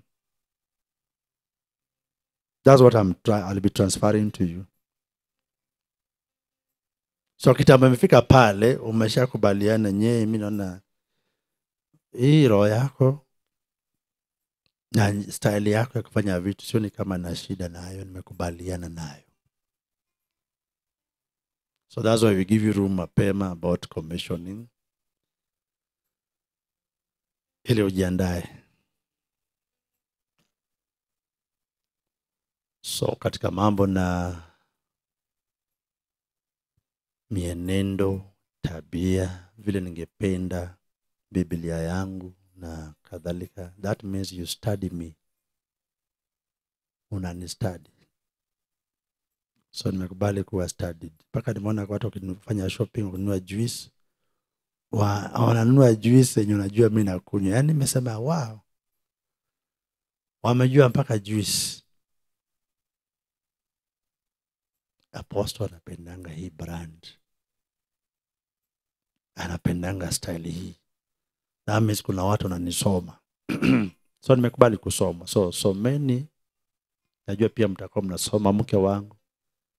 Mnasoma watoto wangu. So tunafanya bidii.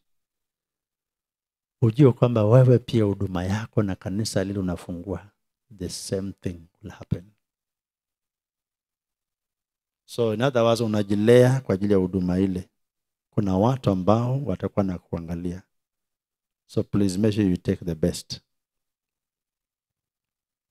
Maombi unakujaje kanisani? You don't want pastors to get late. Quarters mnaamka masaa. Masaa ya maombezi watch hours mnazikip please pastors you arrive early on time. Hivyo hivyo jionekane mwenye you are at the place where you wanted at the right time bwana asifiwe. Baba naona sina deni. Baba naona sina deni. Maana yale ambazo bwana ulinikusudia kuwapa nimewapa. Naomba bwana ipatikane watu miongoni mwao watumishi ambao watafanya bwana kukuletea utukufu. Walinde kwa sasa wahifadhiwe na wewe mafundisho haya na roho wako bwana wakaipata sawasawa wasienende kando kando na roho wako na mfanyiko baba wa neno lako. Nisaidie bwana kwamba wote hawa hamna atakayepotea. Ili baba niwe kwao mkufunzi bora na wao wafanyike wanafunzi bora. Hivyo basi madhabahu ambazo tutafungua kenya hii maeneo mbalimbali fanya kuyatayarisha hapa hapa na wakati wao ukifika baba watakubali kwenda katika yesu kristo naomba. Amen. Jesus name we pray. Oh yes. Madhabahu tunazifungua nyingi maeneo. Na naona mungu ana, anakubadilisha madhabao zifunguliwe. So siaya itakuwa na kanisa hasa hayo maeneo za siaya alego ugenya game. Western bungoma kakamega. Vihiga. Then maeneo pia itakuwa na makanisa. Then hizi sehemu zingine ambazo ni za pwani. So labda unajua kwamba unatayarishwa please always unapojitayarisha pia anza kujipea picture. Naweza enda upande gani so siku utaiva utaenda haleluya bwana yumwema haleluya alright wanaangalia watoto ambao wako kumbe wamelala vizuri. Wacha leo nisiwakaishe, mwende kwa mapema. Tusimame basi mbele za Bwana.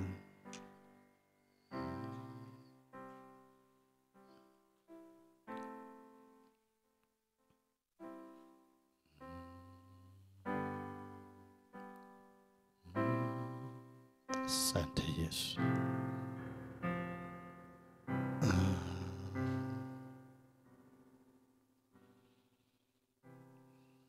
Uh, I knew that my beats were not there.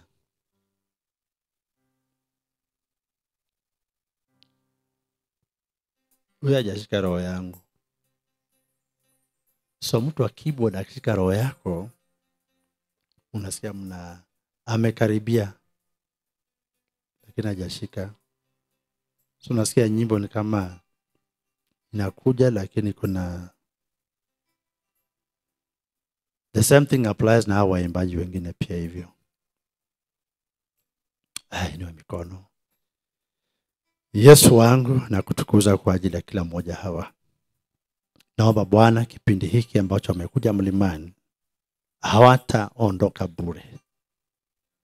Roho ulionijaza, Roho wako Mtakatifu akafanya Baba pia kutiririka kwao.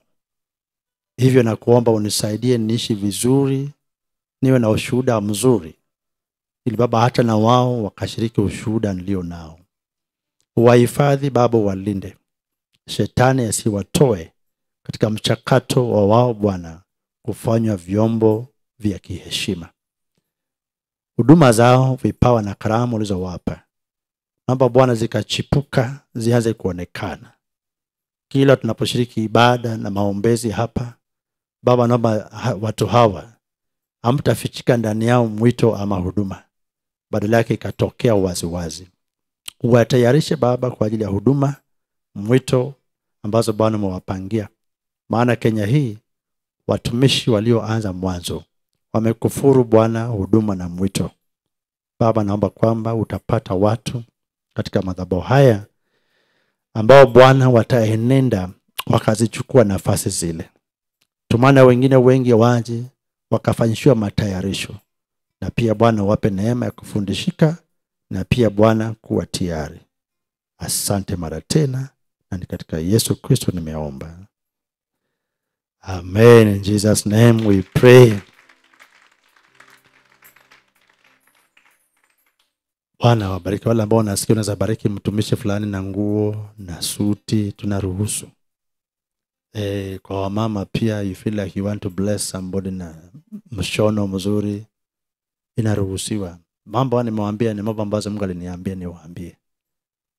So dada, ukiona umeshonewa nguo na mama mwingine, please usiulize maswali. Kuna watu ambao wanaamini kupanda mbegu. Ile mbegu mbamu unapanda, please nunia mwenzako nguo. Haleluya. Love gift. Na ukiletewa please usidharau chenye umeshonewa. Chukua measurement, shonea mtu mzuri, nguo mzuri, mkabidhi.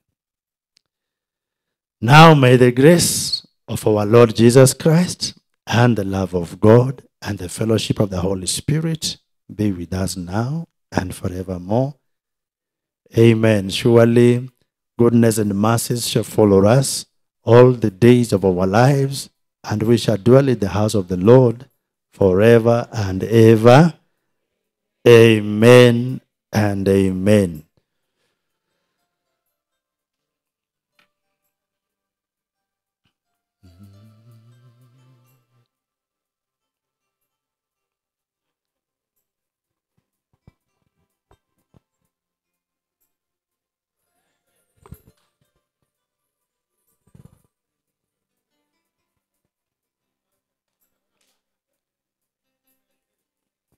हो चाहे